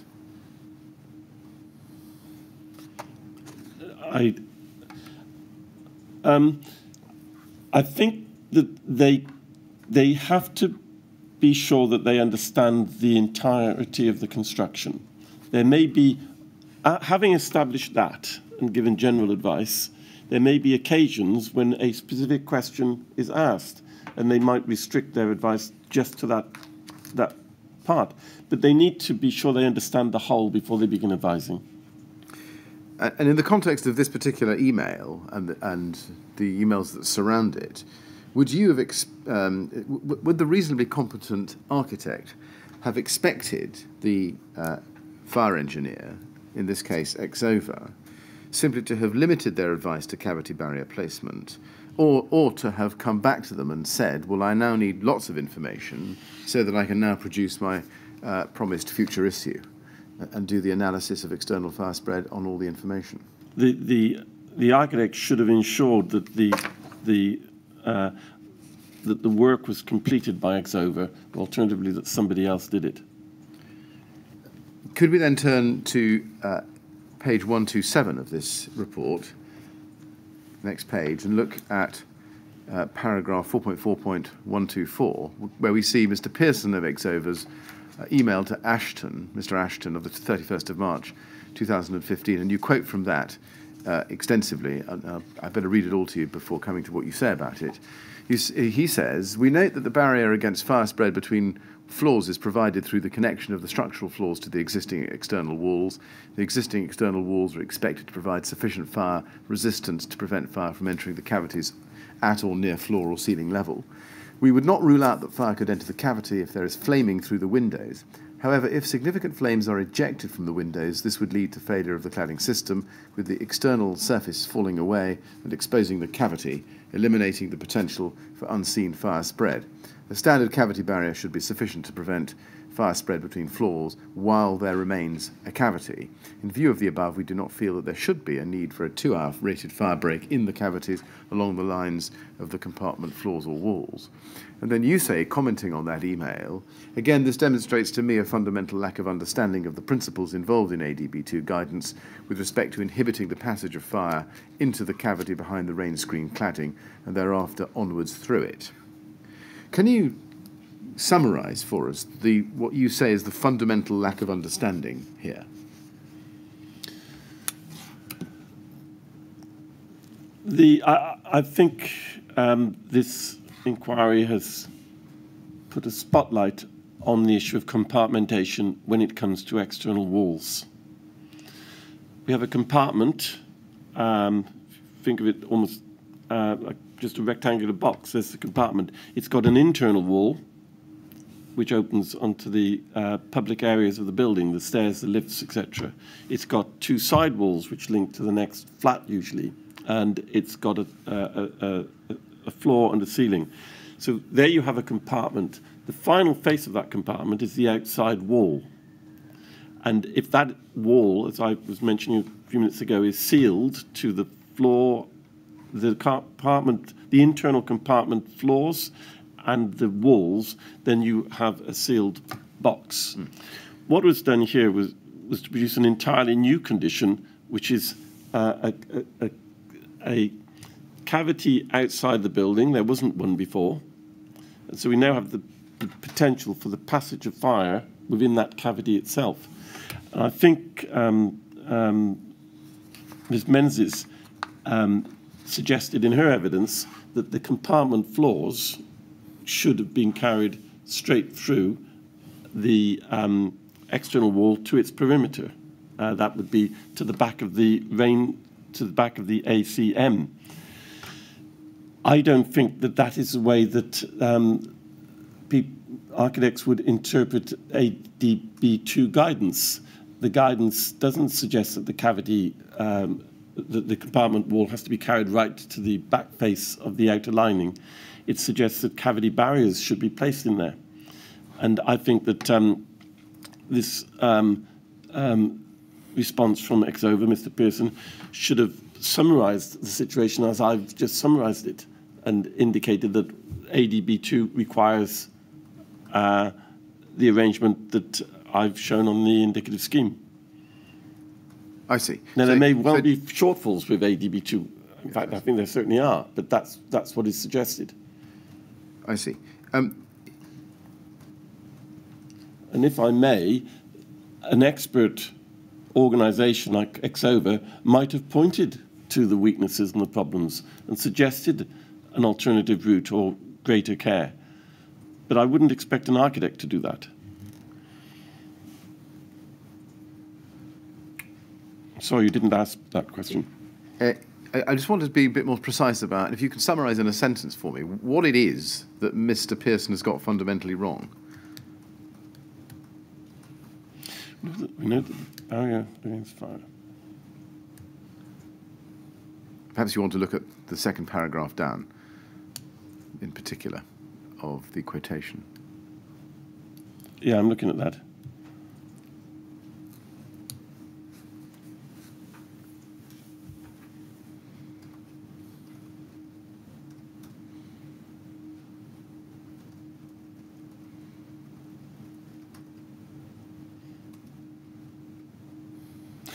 Well, um, however, if significant flames were ejected from the windows, this would lead to failure of the cladding system with the external surface falling away and exposing the cavity. The, the, the key point here, I think, is where those flames are going to go. Are they going to go on the outside of the um, ACM, or are they going to go to the inside of the ACM? If they go to the inside of the ACM, there is a potential for a a far greater um, ferocity of fire. It's, uh, it's, it's, there are conditions there. There's a chimney effect for a start. Um, there are conditions, it's almost like a bellows. Far greater heat can be, uh, and there's fuel inside that cavity. If that fuel, that is the um, Celotex, catches fire and is burning rapidly in that uh, tight area with a plentiful supply of oxygen uh, through it. It's, it's, like a chimney. The, that, the impact of that on the back of the um, ACM um, uh, will be considerable. We talked yesterday about the cuts to the edges of the, um, of the trays. We've got the polyethylene which can pour out inside. I so I, I, think that um, that those are all issues that should have been in um, Mr. Pearson's mind. I see. Is, is, can, one, can one summarise it this way, perhaps? And I know we're interpreting a document, and it's not really your role, to, and certainly not my role to do that, but is your understanding, from the point of view of an expert architect, that the basic error here is that he has confused a flat on fire with a cladding system on fire? I, I, I think that, is that is correct. Um, but I, am you see, we go back and look at words you've written. A fundamental lack of understanding of the principles involved in ADB2. I, if I may, I'd just like to go back. Significant flames were ejected from the windows. significant flames can be ejected from the windows without much adverse effect because, as we know from, um, I think it was Mr. Torero's advice, and I know this from moving my hand towards a candle on the dining table. You can move your finger towards the candle. There's no burning sensation, not at all. You can travel right to within half an inch of the candle, and then suddenly the the in, the the exponential increase in temperature is extraordinary. The reverse is also true, as Mr. Torero told us. So flames can come out of the building into the open air, and those flames don't do that much damage. It's when they get into a situation like the cavity with fuel, there is the danger. Yes, thank you.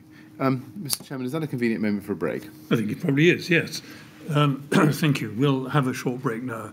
Thank you. Mr. Hyett, usual rules, no talking when you're out of the room, please, at least about your evidence, that is. And we'll come back at 20 to 12, please. Thank you very much.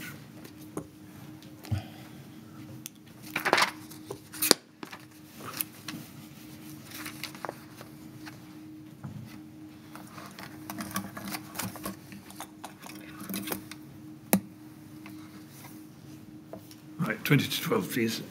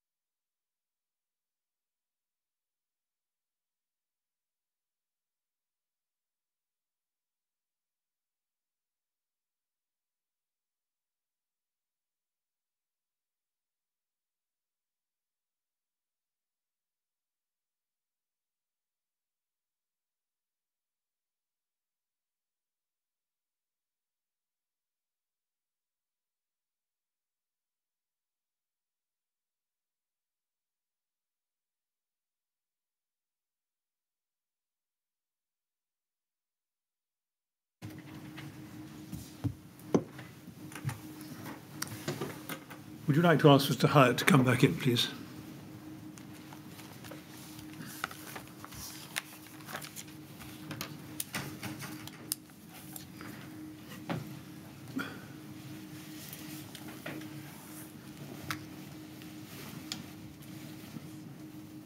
All right, Mr. Hyett, ready to carry on? Yes, I am, um, sir, but could I ask Mr. Millett to please, would you take me back to Mr. Pearson's um, um, quote, because I'm, I'm not happy that I gave a concise and clear answer on that. Yes, of course. Can we go to PHYR 5029 at page 127? Right, I was concentrating, I think, too much. May I speak? Uh, Yeah. I was concentrating too much on the second paragraph. And if I take that from the top down, we note that the barrier against fire spread between floors is provided through the connection of the structural floors to the ex- existing external walls. The existing external walls are expected to provide sufficient fire resistance to prevent fire from entering the cavities at or near floor or ceiling level. Well, that I don't think is adequate and it's not strictly true. The jambs have to be considered equally. The next sentence says if significant flames are ejected from the windows. Now, I assume that to mean through the windows, whether the glass is broken or not, but not around the windows. The key here is that the fire passed, we know, through and around the windows. This is absolutely critical. In view of the above, we do not feel that there should be a need for two hours rated fire break. Well, that's a fair answer to the question about the cavity barrier, but to, to say that we note that the barrier against fire spread between floors is provided through the connection of the structural floors to the existing external walls, that is not adequate because if you get that right, that is that it, that implies that that will stop fire spreading, but it won't. If the fire goes out through the jambs, then it's in the cavity and it can spread between the floors.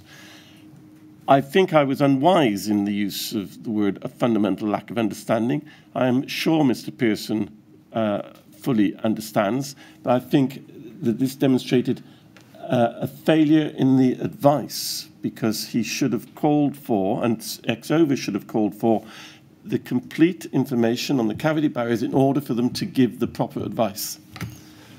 Thank you. Thank you. Thank you very much. Now, before I continue uh, on to the next topic, uh, which will be cavity barriers at the head of the window, I feel I need to correct something that uh, you said earlier and I perhaps encouraged you in. And this was about the timing of the publication of the Celotex RS 5000 compliance guide. Um, can we um, go back to that document? Um, because I drew your attention to the fact that it was dated as of February 2015. Um, and you said uh, that when considering the compliance guide, the timing, of course, of all this is very late, you said, because the document was not, I think, available at the time that this product was first proposed. So this would, an architect who's adopted this product earlier on would not necessarily be revisiting the whole of this conversation. And the point that um, you'd made just before raising that issue was that on page three of the compliance guide, uh, it was absolutely clear that when you looked at the right-hand side of the page, page three, that the classification applies only to the system as tested and detailed in the classification report. Uh, and that report covers the end-use application. That's the text of it. Now, the point I want us to put to you is that, in fact, this compliance guide was available in August 2014, not only as at February 2015. And can we just look at one or two documents just to make that good? First, please, CEL 6012.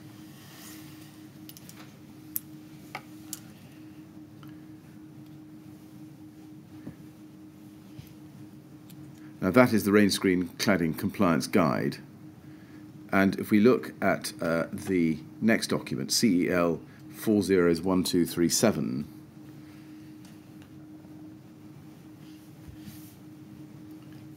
uh,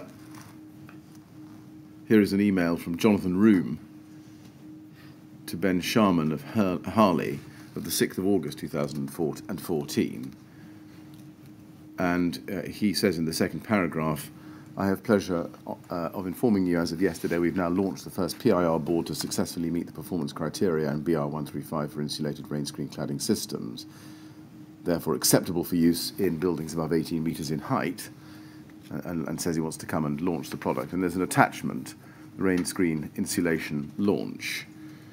Uh, and that was also provided to Harley on the 27th of August 2014. Um, and that's CEL 706. Let's just have a look at that. CEL 706, please. This is a, an email of that date, 27th of August 2014, from Jonathan Room to Daniel Anketell Jones at Harley. And he's sending him the RS 5000 data. If it's correct that the compliance uh, guide that I've just shown you uh, was the document that was provided on those dates, and that therefore Harley was provided with the compliance guide in August 2014, would that change your view?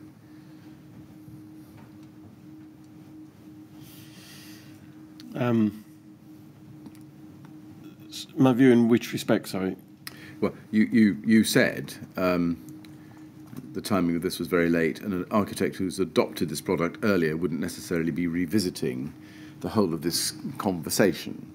So, if it's correct that all three documents were available in August to the architect instead of just the, the, the two, the, the, um, the two I showed you earlier, but also the compliance guide, as opposed to February 2015, would that change your view?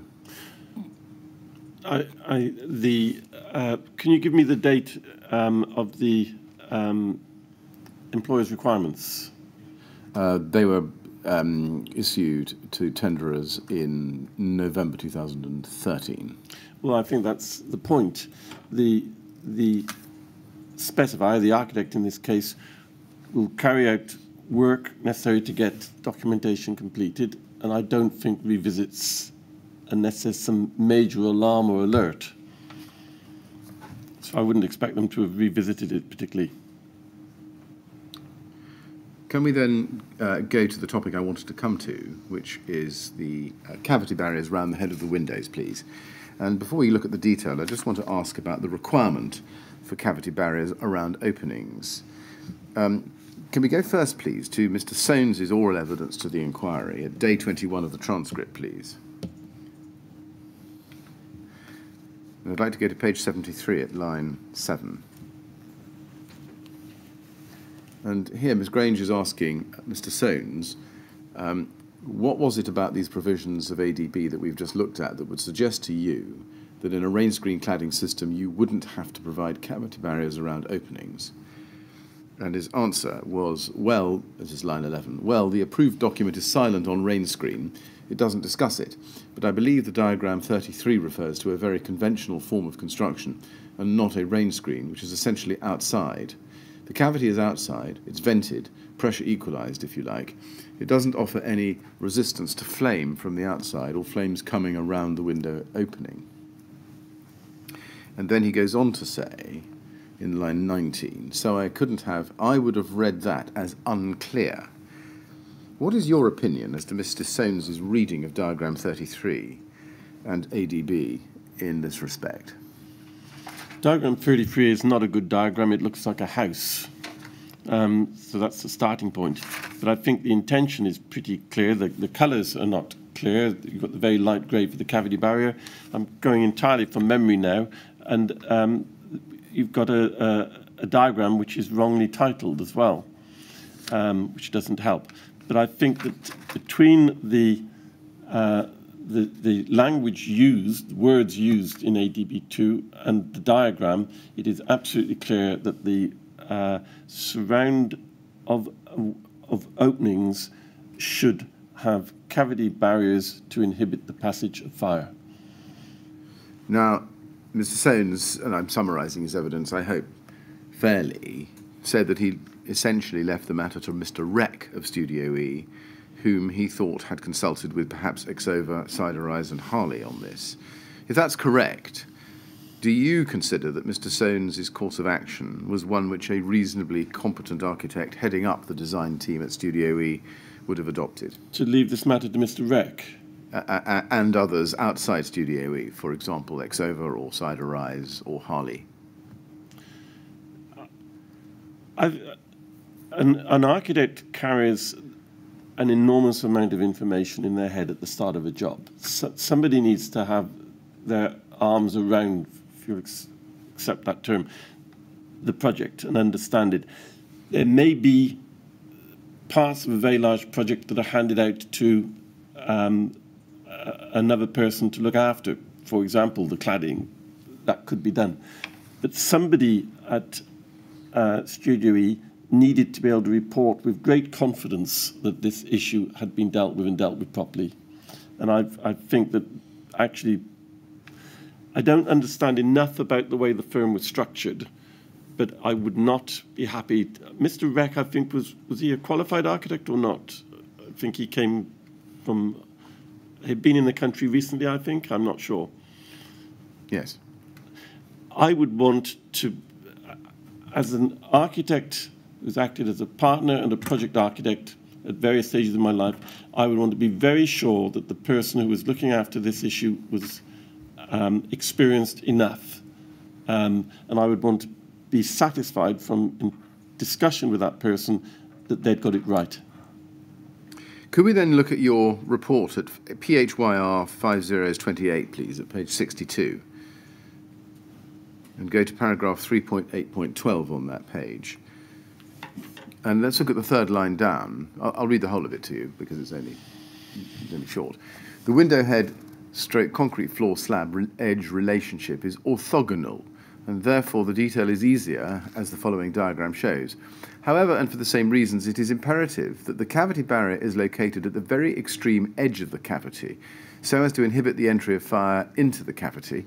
Superimposed on the diagram is a dotted red line which shows where the cavity barrier should be placed in order to comply with the guidance given under ADB 2 section 9. Again, I have also shown a continuous red line which indicates the position that was shown on the Harley drawings and installed. Now, the diagram that you've set up below that text I've just read to you is figure 3.30. You see that? And we can see the proposed cavity barrier position at the head of the window in the dotted red line. Or the dotted red... Um, Could we feed the diagram up a little, please? Yes? Yes. So the dotted, yes, we can probably shrink it a little bit so we can see more of the diagram. Can we do that? that that's enough. Um, the dotted red uh, rectangle there is where you, I think, would put the cavity barrier at the head of the window. Is that right? Yes, as uh, close to the window opening as possible. Yes, and uh, the hard, or solid red line is as per the Harley drawings. That is correct. Now, if we look at figure 4.49 of your report um, on page, um, well, it's at PHYR 5029. We're in 28 at the moment, which is flip over to 29 and go to page 66. Uh, we can see here that you have uh, extracted Studio E's drawing 127909 100 double zero, showing it, that a cavity barrier has been indicated at the window head level. Do you see yes. that? So that's um, where you, you show that. Um, and, and, then if we go to your supplemental report, and I'm sorry to dot around, I need, I need all three together. Um, if you go to PHYS 505, please. I'm sorry, 605, uh, which is your supplemental report, uh, at page 55, and go to paragraph 6.4. 5, you say there,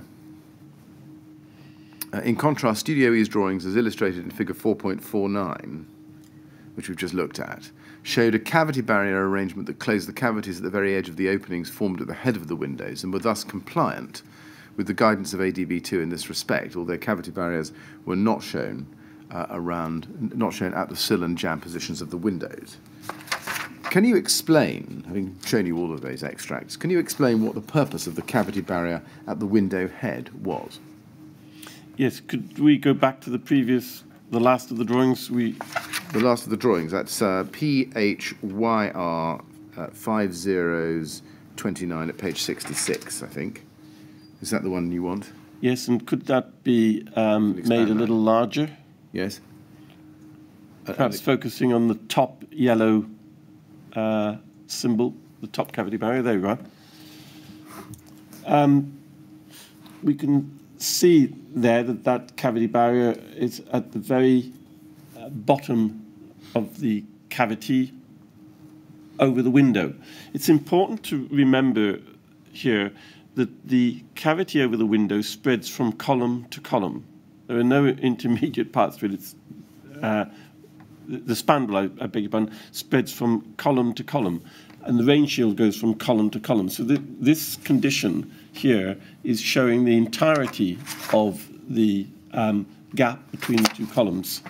And the requirement is to inhibit the passage of fire into the cavity where there may be fuel. Certainly, they don't want a fire in the cavity. Placing the, cav the cavity barrier as close to the top of the window as possible means that there is a, a, an obstruction to the free passage of fire at that point, and there is no fuel within the cavity um, to assist a fire. And why does the cavity barrier need to be at the very extreme edge of the window head? At the extreme edge, well, well as close to the window head as it can can be. Simply to so that there is no part of the cavity that is um, that, that is easily accessed by a fire, um, so that all of the all of the cavity and any materials within the cavity are above the cavity barrier, which is protecting them all. Um, let's then look back at your figure 330 at PHYR. Before you leave that figure, Mr. Millett, there's an interesting point on that as it's blown up. Right. May I? Yes. There is a yellow line that we're looking at, uh, a yellow, um, the cavity barrier shown yellow. There is a dotted line running away from the cavity barrier to the right. Do you see that? Yes. That is the cavity barrier continuing around the column. It then uh, meets a vertical dotted line. You can see 575 is written through it. Yes. And there are two lines there. They are the vertical cavity barrier coming down the column. Yes. The dotted line of the horizontal cavity barrier does not continue around the column. Right. It's absolutely key. Yes. So there's your chimney again. Yes. Can we then look at uh, figure 330, which is back at PHYR 50s 28, please? PHYR 50s 28 at page 62, which is your, um, I think, indicative position of the cavity barrier. You, you, you, you, we've looked at that a moment ago. Is the position in which you've shown the cavity barrier at the window head the only position which would meet with the meet the requirements of ADB paragraph 9.3, or are there any other positions which would also comply? I, I, no, I think it must be there as close to the edge of the cavity as possible. Now, we can see from this diagram that in the position shown at figure 330 here, that part of the cavity barrier would not actually abut the concrete floor slab, but, but would abut against the continuous aluminium angle in front of the void. Is, yes. Is that correct? Yes. Now, Mr. Lamb gave some evidence about the efficacy of that arrangement, and I'd like to show you the transcript of what he said and then ask you some questions about that. Could we go, please, to day 38 at page 104?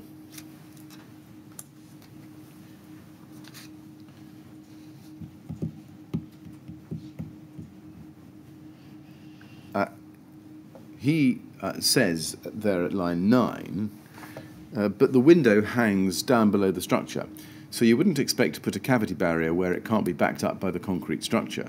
So for one, you would have to put it at least at the bottom of that concrete floor slab. The second thing, as this is a refurbishment, the concrete isn't crisp and flat and straight as it's shown on that drawing. It's quite a deflection. So the aluminium, this special profile at the head of the window, there would be gaps between that and the concrete.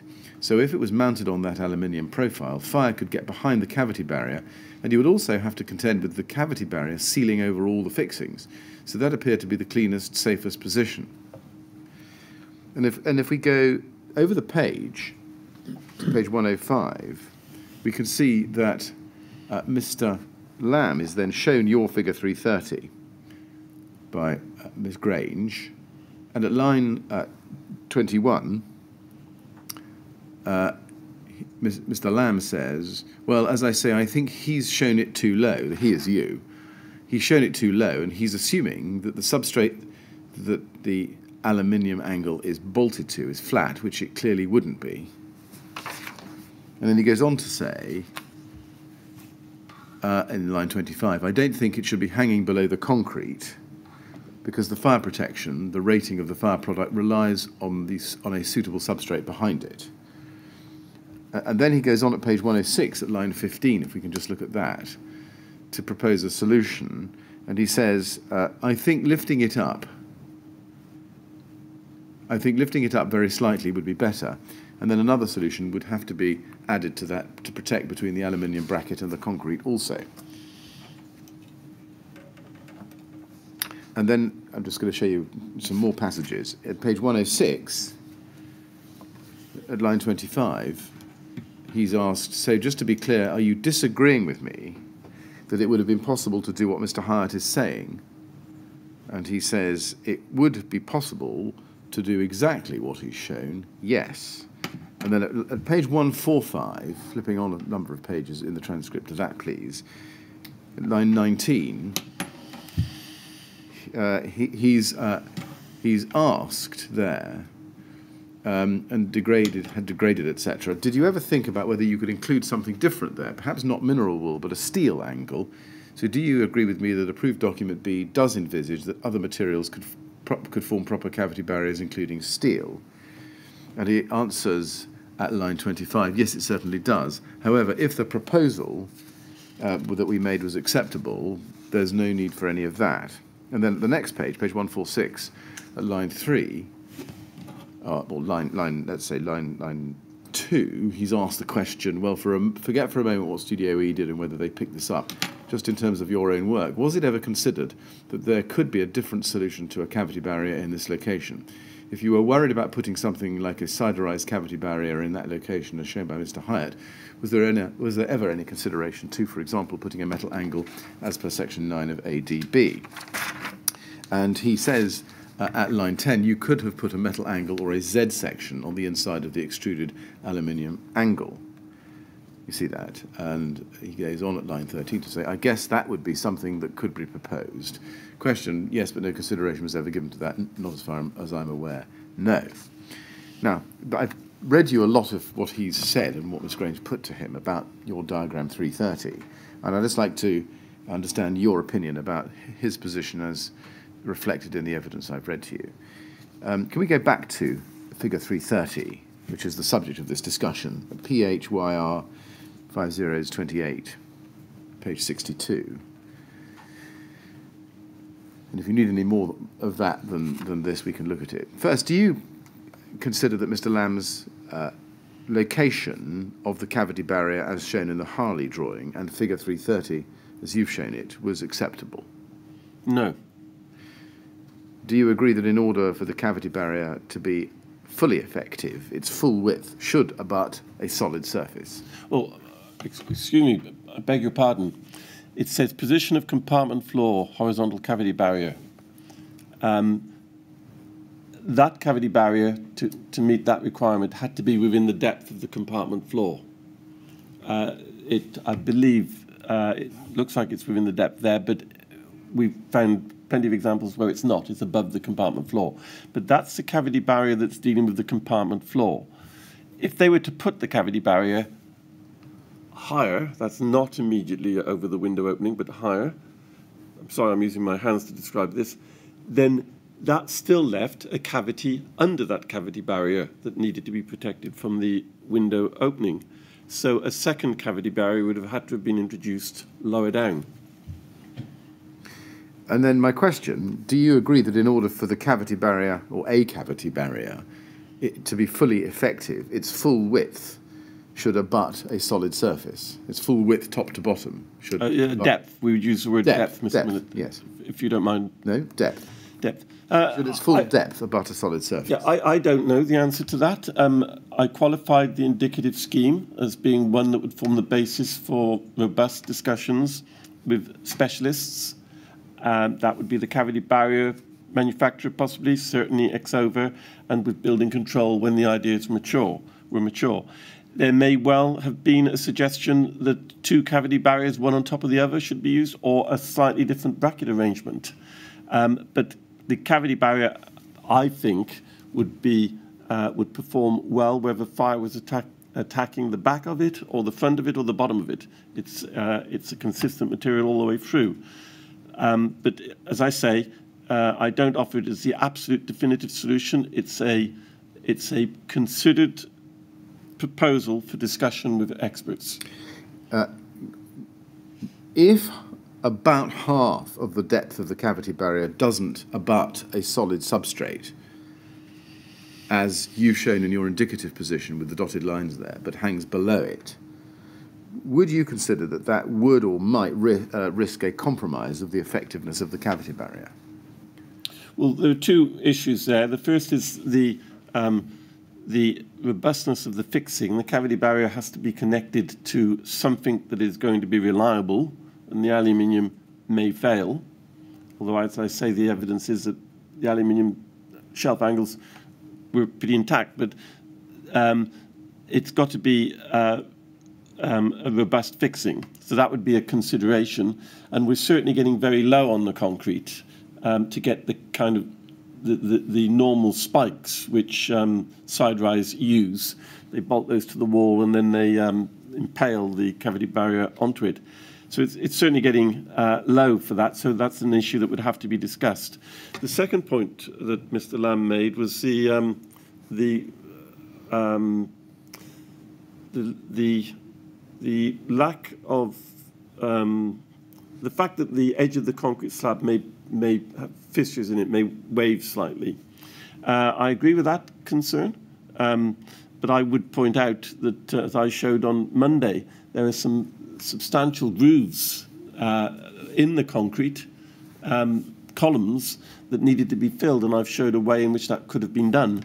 Um, I don't think that the, any gap between the back of the cavity barrier shown here and any unevenness on the spandrel panels would have been anything like the size of those grooves. Um, if it did become a concern, and this again is where the, the kind of conversation I've, I've described with specialists would come in, it's possible that the aluminium could have been um, placed onto um, an uh, intumescent strip. It's possible that there may have been conversation about using a steel angle as opposed to aluminium to achieve the um, the uh, barrier in that way. Uh, it's possible Pike, that a different arrangement cut, could have made. I'm going to cut you off, and I understand all of that. Okay. It's all very useful. Can I just ask you to focus on a, a, just a very specific point, which is um, I'm just asking you that where, as you can see, about half of the depth of the cavity barrier doesn't abut the solid sub substrate like the concrete here, but hangs below it, would that compromise, as designed, would that compromise the effectiveness of the cavity barrier? If would it, it could be securely fixed, um, I don't think so. Right. Why is that? Uh, because the cavity barrier, uh, the back of the cavity barrier as well as the bottom of the cavity barrier um, will inhibit the passage of fire. Do you consider the aluminium angle to be a suitable substrate against which to fit the cavity barrier, as you can see is the case in your indicative drawing?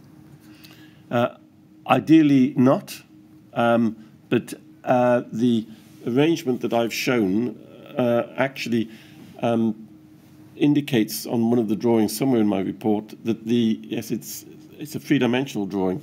It shows that the angle would be cut at intervals that's the shelf angle, would be would have a slot in it, for want of a better description, at intervals along uh, its uh, length, and that the um, cavity barriers fixing would be directly to the concrete. So, so, the cavity barrier is not fixed to the angle. The cavity barrier is fixed to the via its spike. It's impaled on a spike which is bolted straight into the concrete. So would that require modification of the, of the aluminium angle holding the window in place? Uh, yes, it would have to be cut, but not a difficult task. Right. And let me just look at, see if we can get this clear. Could you go to PHYR 5028, please? At page 77, so on some 15 pages in this document. Let's look at. Oh, there it is. That, that, shows it. That's it. Yes. That's it. I see. So those, just to be clear for those watching, those show, do they, the head details um, showing the continuous window bracket modified to accommodate the cavity barrier supports.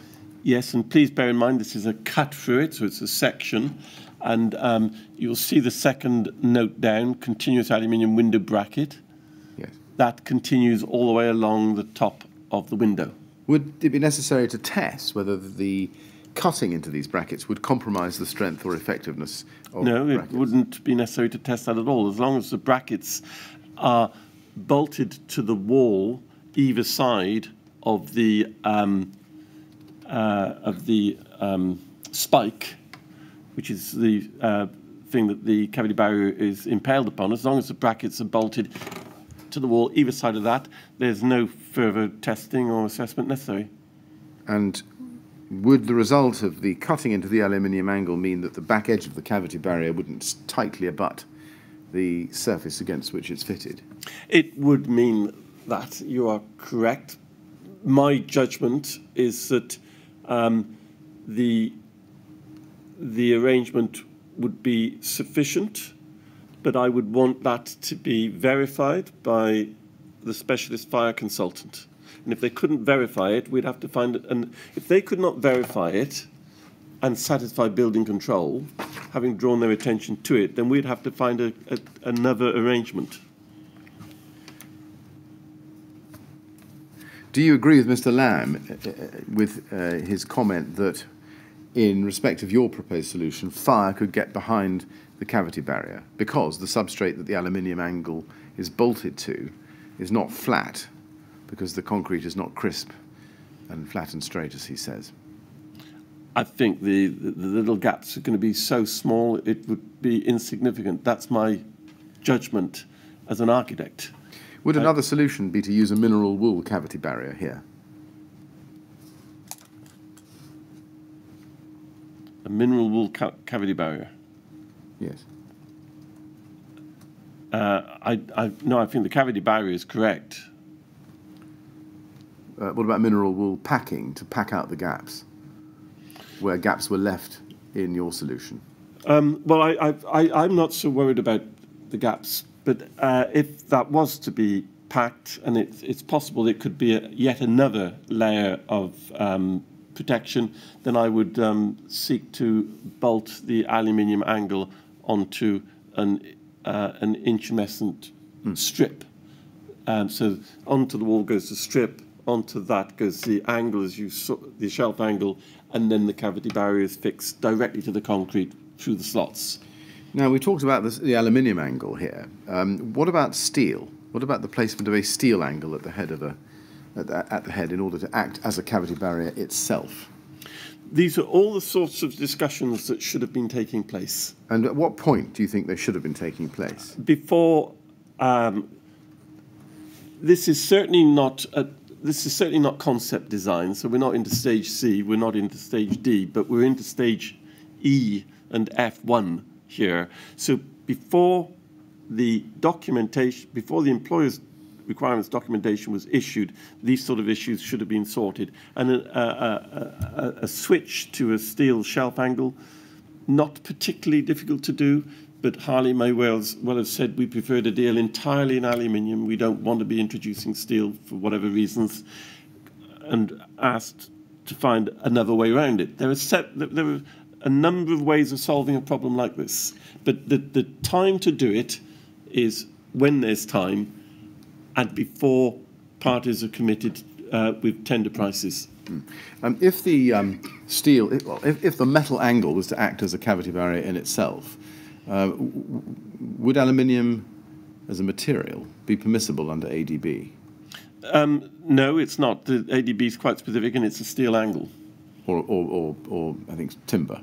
Yes, and in both cases, I think it, it stipulates the dimensions, the thickness. Right.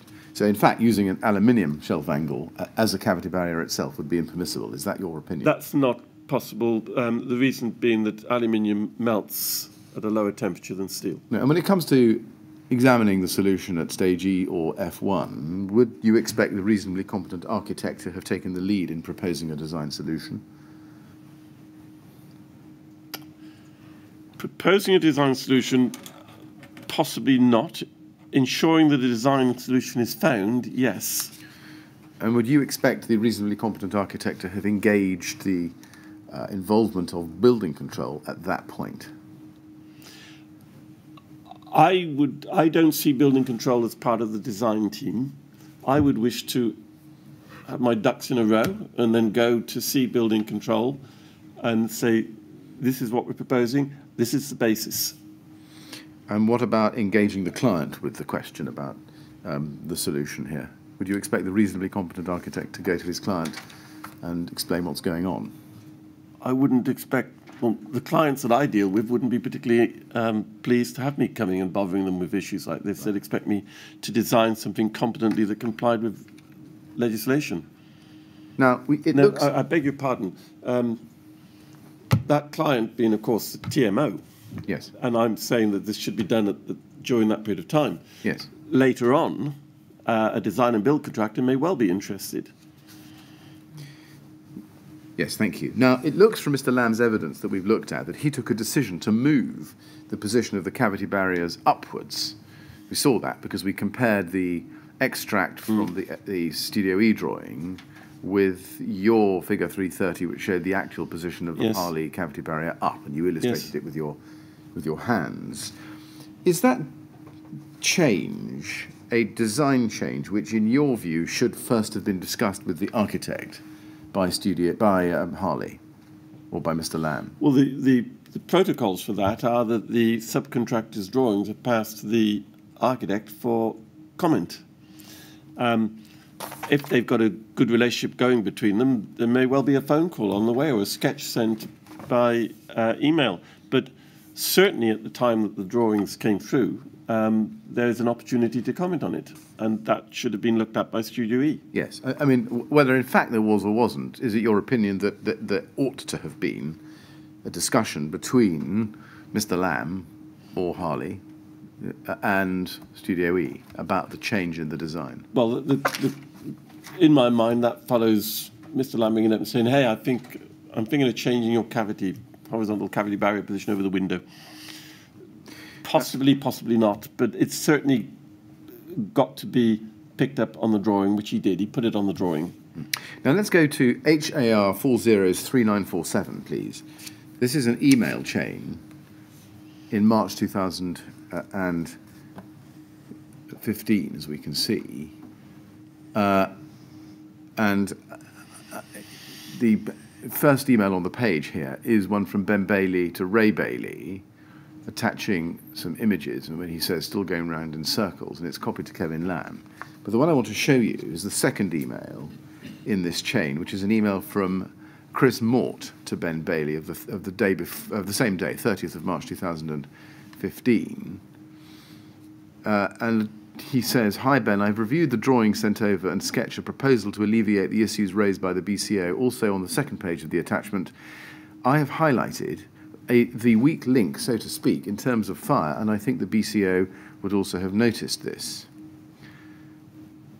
You see that? Yes, yes. Uh, and he goes on to say the proposal requires the installation of RH 25 gram 60, 90 straight 60 product in two layers, one at the head of the window aligning with the compartment floor and at the other at the top of the existing upstand. Therefore, two layers of 60 minutes protection that overall would provide, if tested over 120 minutes, protection at the window locations. Uh, this is just the heads of the windows, is it? Uh, yes. Right. Um, now, I don't think I need the rest of the email for your view about this. I just what I do want to show you is the attachment, which is HAR 403948. which is a drawing set. Now, this is the first page of the drawing set, where we can see the Studio E drawing. Um, and if we go to, if you look at the right sorry, I don't think this is a Studio no, E You're drawing. right. This, this, is, no, sorry, this is a Harley drawing. Right. You're quite right. If we go to the right hand side of it, you can see that there's some manuscript. And you can yes. see where the cavity barriers are in yes. red. Yes. But I want to focus on the second page of this if we can. Here we can see uh, that, um, and this is a, a, Harley drawing from August 2014, and this is um, revision E of the 3rd of March 2015. Um, here we can see that Chris Mort has put a, a, a squiggle cloud around the bracket holding the window in place and has put the words weak link for fire. Do you see that? Yes, and he is from Siderise. And he is from Siderise. Yes. Correct. And you can see the cavity barrier location there illustrated on this Harley drawing. Yep. Uh, do you consider that, that, that there is a weak link for fire in the location identified by Mr. Mort? For all the reasons that we've um, been discussing for the last 10 minutes, yes. And why is that? Could you just explain? Uh, because there is um, there's a cavity and there's no protection at the edge of the window and the gap between the window and the concrete. The window here has moved out from the concrete, so out from the face of the building. And my report shows how the previous windows were installed within the line of the concrete. So if you just drop a vertical, if you take the back of the angle, I think everybody understands where the angle is that's fixed to the concrete. If you drop a straight line down through the window, the, uh, through the opening, the original window position was behind that. That's within the, the, the concrete line. This has gone outside, and it's now created a gap between the top of the window and the concrete. You can see that, and the only filling to that gap, or sealing of that gap, is the aluminium and the aluminium doesn't satisfy the guidance of ADB2. So there is a weak link for fire, precisely as written here. And beyond that weak link is fuel. Yes, thank you. And the solution uh, that you've identified at figure 3.30 in your report is the solution that you think ought to have been adopted. Is that right? Yes. Yes. Now, we don't see ourselves any evidence of this email having been forwarded to building control or, or, building control being shown this attachment on which the words weak link for fire were indicated at the window head there. That, that's a matter of evidence. My question is, would you expect uh, a reasonably competent architect to raise this question about the potential here for a weak link for fire um, with building control?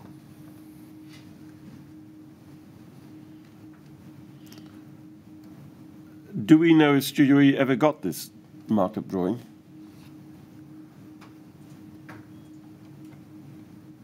Uh, no, they didn't, I don't think. Well, my answer then is if they'd have got the marked up drawing without a shadow of doubt, well, actually, I wouldn't have even bothered to raise it with building control. I'd have sorted it before I went to building control, full stop. Let me ask the question in a slightly different way.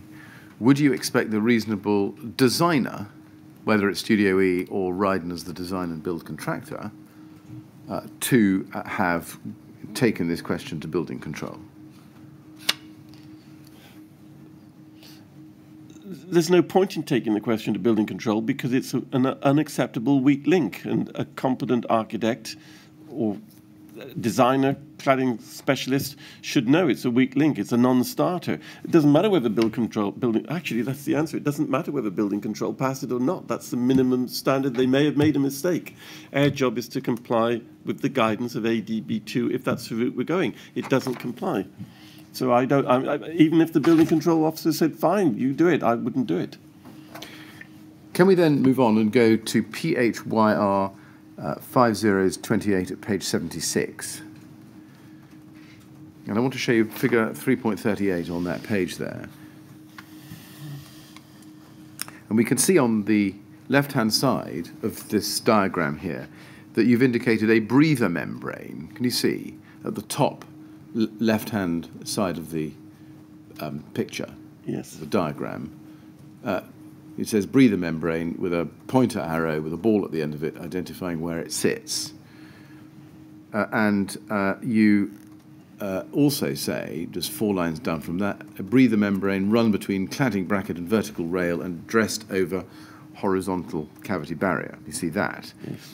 Um, does the placement of the membrane passing over the outer edge of the cavity barrier have any impact on the functionality of the cavity barrier itself? I don't believe so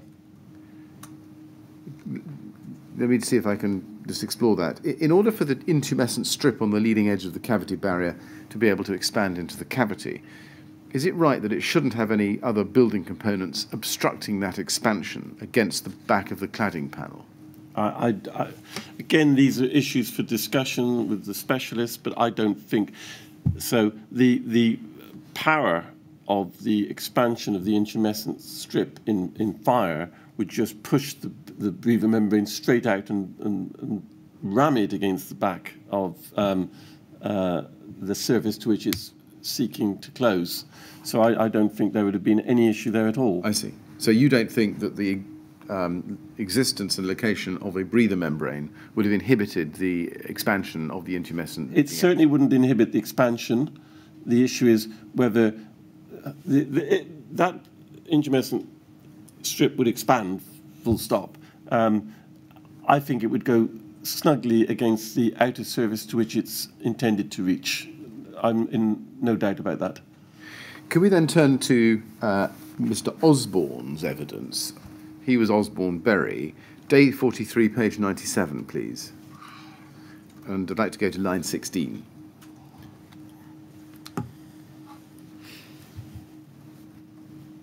Uh, he uh, says uh, there, and this is in the context of putting an EPDM uh, in in order to seal the angle brackets and to stop water leaking down and into the flats. Uh, and then at line 16, uh, he says, in fact, it starts at line 14, you couldn't penetrate the EPDM with the fire break or the insulation. So the EPDM was put on and then the fire break was moved upwards to allow fitting of the fire break and fitting of the insulation. And then he was then asked, when you say the fire break was moved upwards to allow the fitting of the fire break and fitting of the insulation, do you mean, is this on the columns we're talking about? And he says, no, this is on the horizontal. And if we go on to page 98, at line 6, he's asked the question Does that mean that the positioning of the horizontal cavity barriers on the tower was slightly higher, rose up? You see that? Yes. To which he answered yes, and then he agreed um, th uh, that um, they'd been moved up from the position they'd originally been shown in the Harley drawings. You can see that just from lines 13 and onwards. Uh, now, Earlier on in his evidence, Mr. Osborne had explained that a sample panel had been constructed for review. That was, we don't need to see it, but that was page 97 at line 95. Um, moving on from that at page 99, if we can just go back to that, he's asked line 2, uh, oh, he says at line 2, he says, very early on in the project, then a sample panel was completed. I believe I was on the mast climber at the time. Graham was on the mast climber and several other people, probably eight or ten people, all came up to have a look at what we'd done, and then that was agreed, and that's that's where it would be, and that's where we work from. Basically, that's what he says. Now, his point is that the uh, cavity barrier had been raised up by about 10 centimetres from the position shown in the Harley drawings. And uh, again, that's page 99 at line 23, the transcript. And he also said that it was either Mr. Lamb or Mr. Anketell Jones that had instructed that change, that's page 98, line 24 of the transcript. I've given so, you a huge. Sorry, that's gone up from the position shown on Harley drawings. Uh, yes. So it's gone up even further from the position shown on Studio E's drawings. Well, let's perhaps look at page 99 just to be just to, to be clear, because I'm conscious that I'm now ask, answering your questions rather than the other way around. So, I beg your pardon. I help you. Um, well, it's not surprising. I'm showing you an awful lot of transcript uh, in, in order for you to swallow it in one go. But the answer to your, your question is yes. But let's look at page 99. Um, at page 99, uh, line 23, uh, we, he says 10 centimetres. So that's that. He's given the measurement there. Line 25, approximately how far from the head of the window was going to go over the page, please. That cavity barrier, then roughly. And he says, I can't remember. Now, um, perhaps it's easier to do this by way of a, of a picture. Uh, Mr. Osborne was shown a photograph, and we can look at that at HAR 401524. Just have that photograph up there. Now, that's a photograph uh, of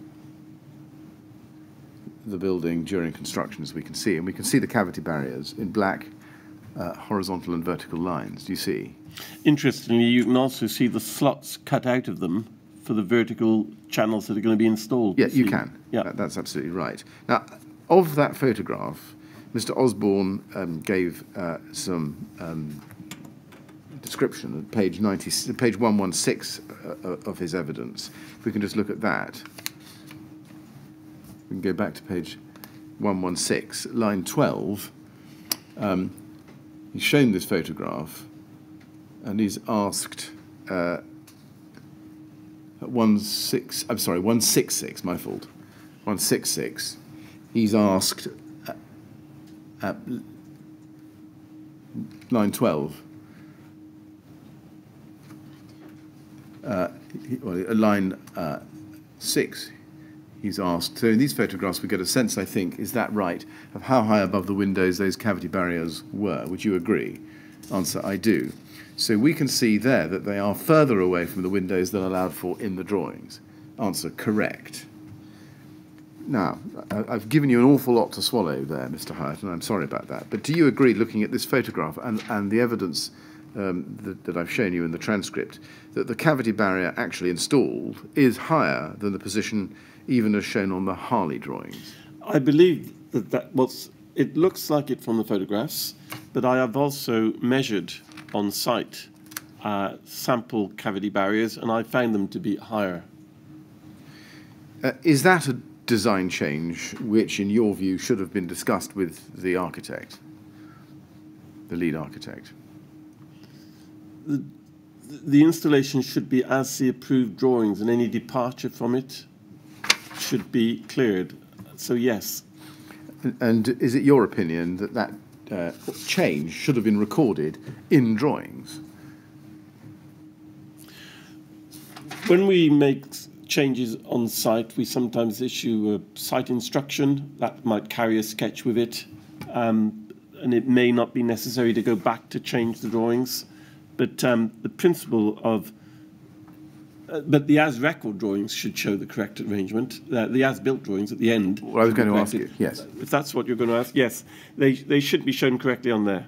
Yes, at some point, whether it's immediately or in production of the as-built drawings, the alteration of the position of the Should have been recorded. horizontal cavity barrier should have been recorded in drawings. Yes, but more to the point, the drawings are there to ensure everybody understands what they're doing and that the building is compliant. A change like that should have been fed back through the architect and back through building control uh, and or Exova. Would you, in principle, have been uh, supportive of this mock-up construction of the cavity barrier insulation and panel placement that seems to have been undertaken by Osborne Berry on site, and then considered by the ten or twelve people or so who'd seen it?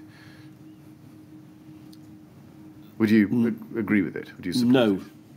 Why is that? because it, it's, it, it departs from the architect's drawings. It, it would, they should have spotted it departed from um, the Harley drawings, and it departs from ADB two, and there should have been people there who understood the way in which the design was intended to comply with ADB two, and could have said, "This is just a non, this is just not right." Would consideration of the mock-up need to be had by reference to Studio E's drawings included in the employer's requirements? Would you need to put the mock-up next to the employer's requirements drawings and, uh, and consider the former in light of the latter? I haven't quite got the date of the mock-up in my mind. The, mo- the mock-up is, of course, after the employer's requirements. Uh, Was the, um, is the mock-up was the mock-up done after um, the Harley drawings had been issued? Yes, it was. It was done on site during construction. Well, that takes us back to the comment I made yesterday, which is that the the difference between the architect's drawings and the Harley drawings should have been highlighted, and either the architect's drawings should have been corrected, or there should have been some authority to, to, to depart to the Harley drawings. But either way round, um, if the Harley drawings are by then in currency, there's where the mistake lies. But if they're in currency and the installation of the mock-up doesn't even comply with those, then that should be raised again. I see. So I, I don't, th- no, I don't think that the, the, the mock-up team would have had one set of drawings from the architects and one set of drawing from Harley. Harley's drawings needed to be right. They were the authority, and it should be checked against them. Uh, and in your view, should Studio E have been involved in reviewing the mock-up? If they're retained, if they're novated, I think they should have wanted to have been there and expressed concern if it was going ahead without them. I think that Rydon should have absolutely wanted them there and shouldn't have contemplated having a mock-up without them there. I don't know whether they were there or not. I think I take it from your last answer, but one, that you are of the view that constructing a mock-up of this type uh, took place far too late in the process. And when I say in the process, I mean in the design process. Not, not necessarily. Uh, the, the mock-up can have a whole host of useful um, purposes. Um, so I'm thinking back to when we did the, the, the last mock-up I saw was the Optus Stadium, and we did that just to get a sense of visually what it would look like. Um, yes. We wanted to see it. Th there is no reason why all of these problems couldn't have been sorted out from drawings, and indeed there's every reason why they should have been. So it doesn't need the mock-up to sort out the problem. The fact is that the the the mock-up illustrates that they have well the mock-up illustrates that they've misunderstood the drawing and misapplied the drawing. Well that's really my point that if you're going to make a change like this whether through a mock-up or through a drawing uh, at this stage in the process it's too late because it's too late to address any issues with the design. Well they can make a change but they've got to get the authority for the change. Right and would that authority include taking formal authority from the, the ultimate client the tmo in this case or not No, because it's a technical issue of compliance. The TMO expect their team to deliver a competent building that's complying with the building regulations. They're not checking their work. The, the team had uh, the responsibility to make sure that it was compliant. Thank you. I now want to turn to a set of questions about the cavity barrier strategy at the jamb condition, the jamb column condition. You know what I mean by that? I do, yes. Yes. Um, can we start by looking at PHYR uh, 5028, please, at page 68? This is figure 3.33 of your report. Typical detail one, jamb stroke column interface. And here, am I right in thinking that you have provided a detail, a proposed detail, for the jamb stroke column Correct. condition, which shows a bespoke yes. shaped corner piece. Yes, that's uh, correct. Uh, uh, and just to be clear for those listening, it's a piece of vertical cavity barrier which is to be fixed back to the structure via brackets to fill, to fill up fully the residual cavity at the window jamb. Yes.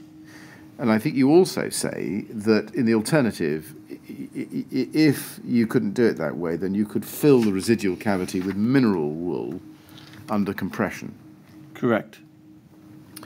Uh, and we also see uh, a uh, um, the proprietary vertical cavity barrier fixed to the structure via brackets in this picture, in this diagram, don't we? Yes. Um, if we turn to figure 3.27 on page 54. If, if I may, Mr. Millett, that's in the position that I've shown it as well. That, that um, yes. rectangular one, it's not in the position shown by either Studio E or Harley. No, I understand that. If we go to page 54 for the moment, and look at figure 3.27 on that page. Yes. Just to be very clear, we can see the location of the vertical cavity barriers at the window jambs on the cross section of a typical floor here, can't we? Yes. Um, and, and could, you just help us explain by reference to this figure, figure 3.27, um, and figure 3.33 that we looked at, uh, and 3.34 if we need to, why it is that you consider that two vertical cavity barriers per column are necessary. Um, the vertical cavity. The first point is the vertical cavity, the yellow vertical cavity barriers um, are only for the depth of the window. They don't go from floor to floor. They just go from the top to the bottom of the window. Right. And they are necessary to seal the gap between the window frame and the column And as you can see, if we take flat three, corner column, there is two junctions of windows to the column. There's a window that uh, is um, on uh, the facade that is between D1 and D2 columns, and the window that's on the facade between D1 and C1. So there's two windows, two sets of windows meeting the column. Each of those junctions need to be sealed um, with a cavity barrier. Yes, and it may be easier to do this by reference to figure 3.34 on page 71 of your report. If we can just turn to that, we may get a, an, e an even clearer illustration of that there. Yes, that is correct. And could you just point out to us in that, uh, on that diagram uh, what it is you're proposing there? Well, the, you can see the window. Uh, this is a, a, a, plan. So you're looking. So you're looking people down. may not understand. Looking down through the building. Yes, as if we've cut a slice through the building. Yes. At the window level, and so that slice goes straight through the window. And if you look at the window there, all the little lines denote the various parts of the aluminium window, and then you can see two um, lines moving out to the right of the page, uh, triple lines together. That's the double glazing. Is that clear? Yes, that Everybody? is. Uh, okay. And, just and then the column is on the left. Yes. Um, with the yellow um, surrounds to the grooves that run up the column. So there's the column face coming chamfered to the point of the meets the window and then returning at uh, right angles to the window. And so the inside of the flat is at the top, the outside of the flat is at the bottom. The cavity barrier that's rectangular, you can see the spike dotted as a dotted line. That's been impaled onto that spike, and it is as close to the edge of the cavity as it's possible to put a, a, a, a proprietary product that's purchased. There's then a gap, and that gap has to be filled. I believe that it would be possible to persuade um, or to attract cavity barrier suppliers to make special cavity barriers to fill that gap. If not, it would need to be packed with something like mineral wool. And looking at this diagram, do we take it, from what you've just told us, uh, that that gap wasn't filled at all on the as-built, on the building as built? Yeah, the, the model um, the, yeah. shows that clearly that there was no um, filling in there at all. So the gap between the window and the concrete, I've referred to as being up to 120 millimetres, existed vertically for the height of the window. And then there was passage straight into the cavity. There was no protection of any sort until the one vertical cavity barrier that did exist on the columns uh, was reached and that could be right round the other side of the column adjoining the next window. Do you consider that the guidance in approved document B required this gap to be filled in the way that you've identified? It's clear, yes. Could we then just go back to figure 3.33 at page 68 of uh, this report, or this part of your report? Um, we can see um, there uh, that again there is a breather membrane. You see, uh, yes. on the right hand column, breather membrane taped and sealed onto EPDM, and then uh, below that on the left hand side, also at the very bottom, breather membrane uh, identified at the leading yes. edge. Uh, is it the case that the proper functioning of the breather membrane would need an air gap between the corner piece and the cladding? Looking at the one on the right-hand side. Yes. Uh, uh, and instead of the breather membrane being pressed up against the rear face of the cladding panel, there need to be a gap.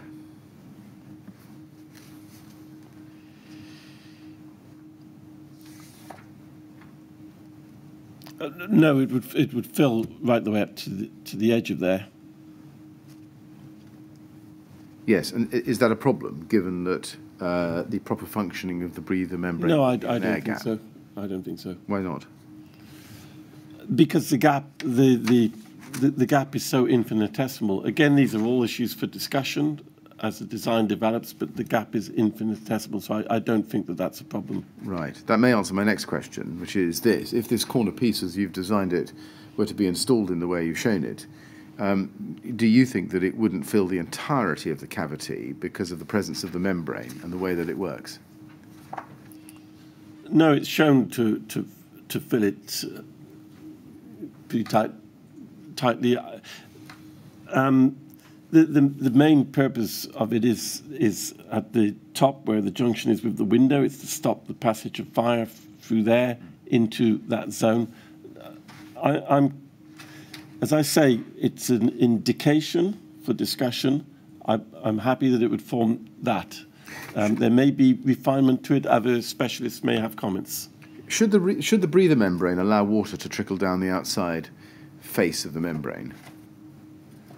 So where you've shown it uh, on the in the gap uh, between the top of the membrane uh, and the uh, the um, the edge of the window the jamb of the window? Water trickling down. Um, there, there, there's going to be damp in that zone, but it's um, it it hasn't, in my mind, got the same function as the um, the horizontal cavity barrier uh, gaps behind the main part of the um, the cassettes. Um, but I, I, see where you're going with that. I, I, can only say it would need further discussion. Right. I mean, you can, and the point I'm really putting to you is that this is an imperfect design because of the breather membrane and the fact that it would, if it had to be tack, packed tightly, um, it wouldn't allow water to trickle through, and that's a design defect. Possibly, may be, there may be even discussion about leaving it out. I, I, would, I would need to take specialist advice on that. I see. Now, of course, this is a bespoke piece, as you've, as you've explained. Would you expect a specialist uh, subcontractor to design this element in, in, instead of the reasonably competent architect in the position of Studio E? Mm. The well, the word there is specialist. The specialist subcontractor. They their literature states with confidence their capabilities. Um, amongst those is, of course, installation and implicitly an installation which is compliant with, um, with code. It's a problem that has to be solved somewhere down the line. I've already said I think that at tender stage, the principles should have been resolved. Those principles, I think, should then have been refined by the subcontractor as they move on into fabrication. This is an example of fabrication. Um, alternatively, uh, and this is back to territory of yesterday, if there was something fundamentally wrong, I would hope and expect that the subcontractor picked it up. But um, the intent should have been there on the architect's drawing. The problem should have been identified and the intent should have been there. There may have been discussion as to exactly how to do it would the reasonably competent architect, when, when um, designing through to stage E or F1, uh, have addressed this problem and produced a bespoke solution such as the one that you are recommending? I think so. So the answer is yes. I did make it clear that tenders can be sought with varying degrees of information at various stages of the process. Uh, it would have been possible to have obtained, to have gone out for tenders at the end of stage C or stage D, in which case it would not be there. But the, in this case, the TMO appointed the architect to take the work through uh, at least to the end of F1. On that basis, I believe it should have been there. Thank you. Now, I want to put a countervailing argument to you. Is it possible, would you be of the opinion, that the design of bespoke pieces such as this, if designed in and specified by Studio E at that stage, pre-tender, uh, would you be of the opinion that that would amount to the illegitimate or perhaps undesirable curtailment of the subcontractor's freedom to develop the design? No, because um, the subcontractor can, the, the main, the, the tendering contractor can have amongst the, the notes for discussion an alternative arrangement and could say, here's our tender, but we wish to discuss the following. Um, or they could raise it without having qualified it at the beginning. Later on, after being appointed, they could say, we're looking at this in a different way. We want to discuss it. So it, it doesn't preclude that. Thank you. Um, I want to turn now uh, to the topic of, um, relating to cavity barriers around the vertical cladding rail, which you have explained to us in your model. Could we start, please, by looking at BLAS 608 at page 57? Now, on that page is a photograph uh, with two rings in it. Can you see that? The I certainly can, yes. And this is, just to be clear, figure 8.64 from Barbara Lane's report. Yes. And this is a photograph, I think, of the spandrel condition with the column to its right, uh, if you're looking at it from the camera's point of view. And there's a black line down the middle, and that, uh, that's the cladding rail. And if you look inside the blue circle there, you can see what I think you called the, uh, the lugs um, or the bolts on which the cladding panels are to be hooked. Could we use the word toggles? Toggles is the word you use. Toggles, yeah. And is it right that behind the rail uh, you can see a quantity of insulation, and below the insulation you can see the cavity barrier? That is correct. Uh, and that's got a silver top and a black face. And may I draw your attention, if you look at the junction of the, the right-hand part of this, either of the circles, if you look at the junction of the black, which is the channel, with the silver, which is the face of the uh, uh, installation, you'll see a yellow strip. Yes. That yellow strip is where they have pre-cut into the um, insulation uh, so that the um, it fits, it accepts the channels. I showed that on the model when we started on Monday. The notches that are cut. Yes. Yes, thank you. Uh, and that then leaves a gap within the cladding rail, the U-shaped cladding rail, doesn't it? Yes. Yes. Now, Mr. Lamb was asked about all of this in his evidence, and particularly whether he considered this gap in the cladding rail. Uh, and let's look and see what he says. It's day 38, please, at page 113.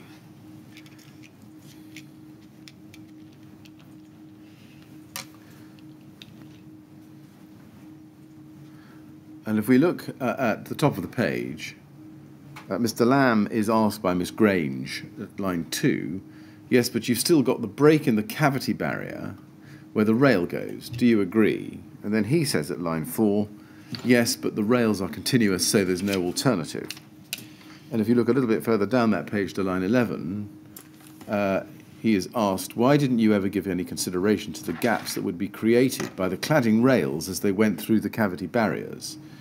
Answer, there were no gaps. It was cut tight to the cladding rails. You see, he says that. And then he, he, he is asked, yes, but the cladding rail itself was a channel through which the cavity barrier did not fit. Does that make sense? It didn't go through the middle of the cladding rail. Yes, the front is yes. And then um, he's asked. Sorry, can I read that again? It's that's 16. Yes, but the cladding rail itself was a channel for which the cavity barrier did not fit. No, the cavity barrier was cut around the back of the channel. That is correct. Yes? Yeah. Uh, and then um, uh, Ms. Grange asks him, we'll come and I'll show you some pictures, and I think in Paul Hyett's report we get. And sh she's interrupted by Mr. Lamb, He says, I mean, this is normal practice. And then uh, uh, she asks him, it's normal practice to cut around the cladding rail, is that what you're saying? And if we go over the page, he says at line one, that's right, as long as it's tight on the inside, you can do no more on the outside because it's a cladding, it's a continuous joint. Yes. And then she asks, but wouldn't it have been possible to put a piece of cavity barrier inside the U shape of the cladding rail so that you have a continuous cavity barrier along the spandrel? Answer, but that would be exposed to the outside world then. Question, no, it was inside the rain screen. Okay, I think we need to have a look at the detail. Yes, we can do that. Now, um, and I'll, again, I'm sorry I'm going to show you some more mouthfuls of this, but let me just do that. If we go to page 151, and let's look at line 7. Miss Grange asks Mr. Lamb uh, this question. Uh, that's why I'm asking whether anyone ever thought about whether or not that was an unsatisfactory arrangement and that there ought to be some consideration of dealing with that vertical gap through the cavity barrier. And in line 12, he says, In my experience, it's not something that's ever done. You don't fill it with an insulation, but maybe the argument is that the cavity barriers are to stop the spread, the unseen spread of flame. If a flame gets into that black zone, you can see it from between the gaps in all the panels from the outside. Question, really? Answer, yes.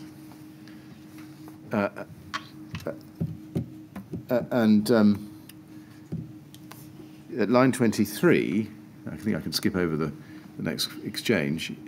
Uh, he says, all I'm saying is that in my experience, it's not normal to try and put a cavity barrier inside that rail. So that's his, that's his oral evidence and his view, having been pressed quite rigorously on it. Um, can we then look at your report at uh, page 28, PHYR 5028, please, at page 80. PHYR 5028, page 80. And here we have figure 3.41, which is typical detail 4, plan through plan detail through spandrel stroke column interface where column aligns with compartment wall. You see that? Yes. And you've got your uh, uh, cladding rail there in the bottom right-hand corner of the diagram. You see that? Yes. And I think you've got a arrow pointing to cladding vertical channel there. As yes, the fourth item correct. the bottom of the And the column. toggle going through it. Yeah, uh, with the toggle going through yes. exactly, or lug, as I think I've wrongly called it. Um, if you um, look at that, um, I, am interested in the bottom right-hand drawing there. Um, you can see, I think, a zoomed-in diagram of this on page 81. Just for the inquirer's benefit, this is a, a, a cut through the building, the, the, previous drawing, if you don't mind. Can we just go back to page 80? That is a cut through the building underneath the drawing that we were looking at previously, which was cut through the building at window level. This is cutting through the spandrel panel below the window. Yes. This is exactly. This isn't about the windows. No, very difficult for people to visualise, but that's where it is. Channels. Yes, we're on the we're on the topic of the vertical channels, yes. not the window yes. condition. Going back, if we can, please, to page 81 and look at figure 3.42, um, we can see a close-up, as it were, uh, of the typical cladding joint at spandrel. And you can see that the vertical cladding channel is, is essentially an upside down U shape here. And at the very bottom of the diagram, you, is it right that there's an aluminium rain screen cladding depicted there, returning into the vertical cladding channel? It comes in and up, yes? And either side of the channel, there are open state cavity barriers abutting the vertical uh, vertical cladding channel. You see that? Is that right? Um, yes. Uh, well, where it says horizontal open state cavity barrier, that black dot at the end of that, that line is the intumescent strip at the edge of the cavity barrier, which goes all the way to the top of the picture. Yes. Yes. So cavity barriers would be abutting the cladding rail as you've shown it, I think. The cavity barrier, yes, the, the cavity barrier was in, we, we showed it with the model. The cavity barrier is pushed onto the spikes and it has notches cut out of it to receive the channels, which then fit neatly into the notch. And I do beg your pardon, I, you're going to want to come back to it later, I think. I misdescribed the um, the insulation on Dr. Lane's drawing earlier. I won't interrupt now, but we may want to go back to that to just correct that. Oh, well, let's let, let's do it now then, while we have it. Otherwise, if we could have Dr. Lane's it, drawing back up. Get... I, I, do apologise. It was a mistake I made. Do, do you mean Dr. Lane's photograph? Um, yes. Uh, that will be B L A. There it is. There it is. Yeah, I, I, uh, it was silly of me. I drew attention to the yellow strip along the edge of the um, the black channel and said that that's where the insulation has been pre-cut. But it was only the cavity barriers that were pre-cut to receive the channel. As you can see, the, the silver at the bottom of the picture, uh, that silver is, is the, is the cavity barrier being cut, and I don't know why that yellow strip exists there at all. Well, I, I was going to ask you about that. Actually, Yeah, I'm sorry, I we skipped over it. No, it's interesting. I mean, in fact, is it the case? It looks like the case that actually the uh, the yellow strip is is the exposed uh, PIR or phenolic, where the um, person who's cut it has exposed PIR um, behind the silver foil, the aluminium foil facing, this being insulation. Actually, I don't know what that is. Well, that's what I'm suggesting to you. I know you didn't take the photograph and weren't there at the time, but that, that is that is a possibility. That is actually exposed PIR. It doesn't look like PIR to me, actually. It, it looks like um, uh, mineral wool, that top piece of that.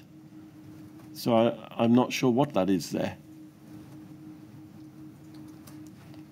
I've not, I may have seen this photograph before, but I, it looks strange to me. I think that there's further inquiry needed into what that photograph is. Uh, right, but uh, sticking with it then, I think you could we could certainly agree with each other that at the bottom of the, of the rail there is uh, the um, horizontal cavity barrier with the black face being the intumescent strip, That's correct. which is um, at, at a horizontal level overlipped by um, a, a foil. Yes. Yes. Yes. That is correct. Yes, and, And uh, that- and- I'm sorry to have distracted us on the other point. No, that's okay. Well, uh, um, we- we've clarified that, I think. Uh, There may or may not be a mystery about the, the yellow, um, yellow vertical line there. Um, I'm not sure it necessarily matters. Can we then go back to the zoomed in diagram Yes, of the vertical channel at page 81 in your report? yes. PHYR 5028, I think. Yes, there it is. Uh, and, and, and we can see that there. And you show the cavity barriers abutting the cladding rail. Correct. Yes. Now, if, if you were to imagine that the, the cladding panels were not indicated, is it right that there would then be a gap running the entire way down the vertical cladding channel? Yes, the, first of all, the grey, it says light grey indicates the zone that the open state cavity barrier will close up. So I now imagine there's been a fire and the intumescent strip has expanded and the cavity barrier has come out to touch the back of the cladding. Yes. Okay. The pink zone indicates where that intumescent strip would not have gone. It may have strayed a little into the pink, but essentially it's going to go outwards. It certainly won't go round the corner.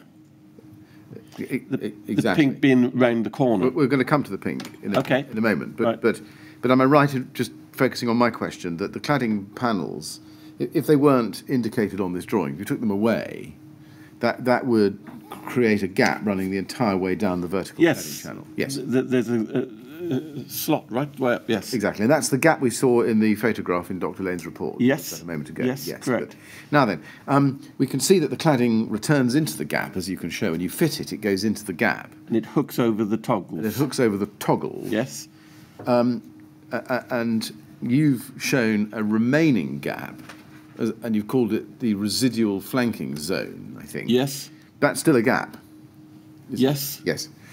Now, um, Mr. Lamb offered in his evidence uh, a reason why that gap was not um, addressed, and that, as he says, may have been because if a flame gets into that gap there, then you can see it from between the gaps in all the panels from the outside. That, that's the, the part of the transcript I showed you. Am I right in thinking that actually you wouldn't be able to see that flame at all?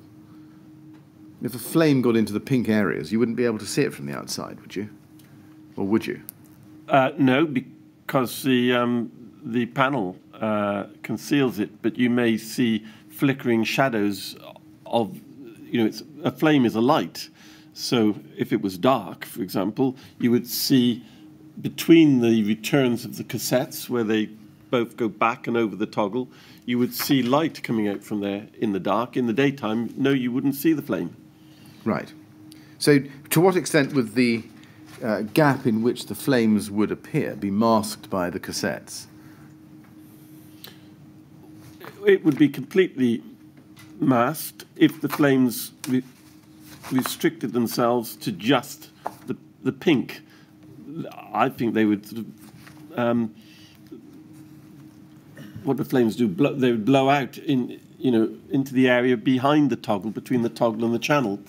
Um, but in principle, the, the fire starts within the cassette and cannot be seen.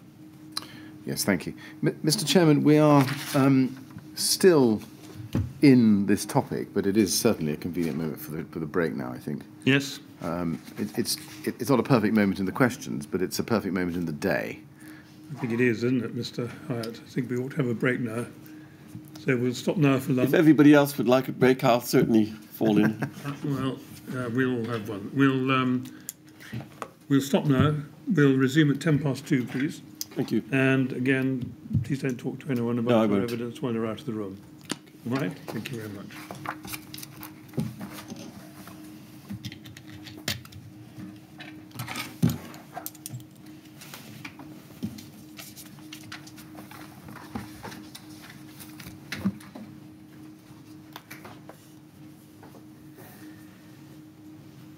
Ten past two, please.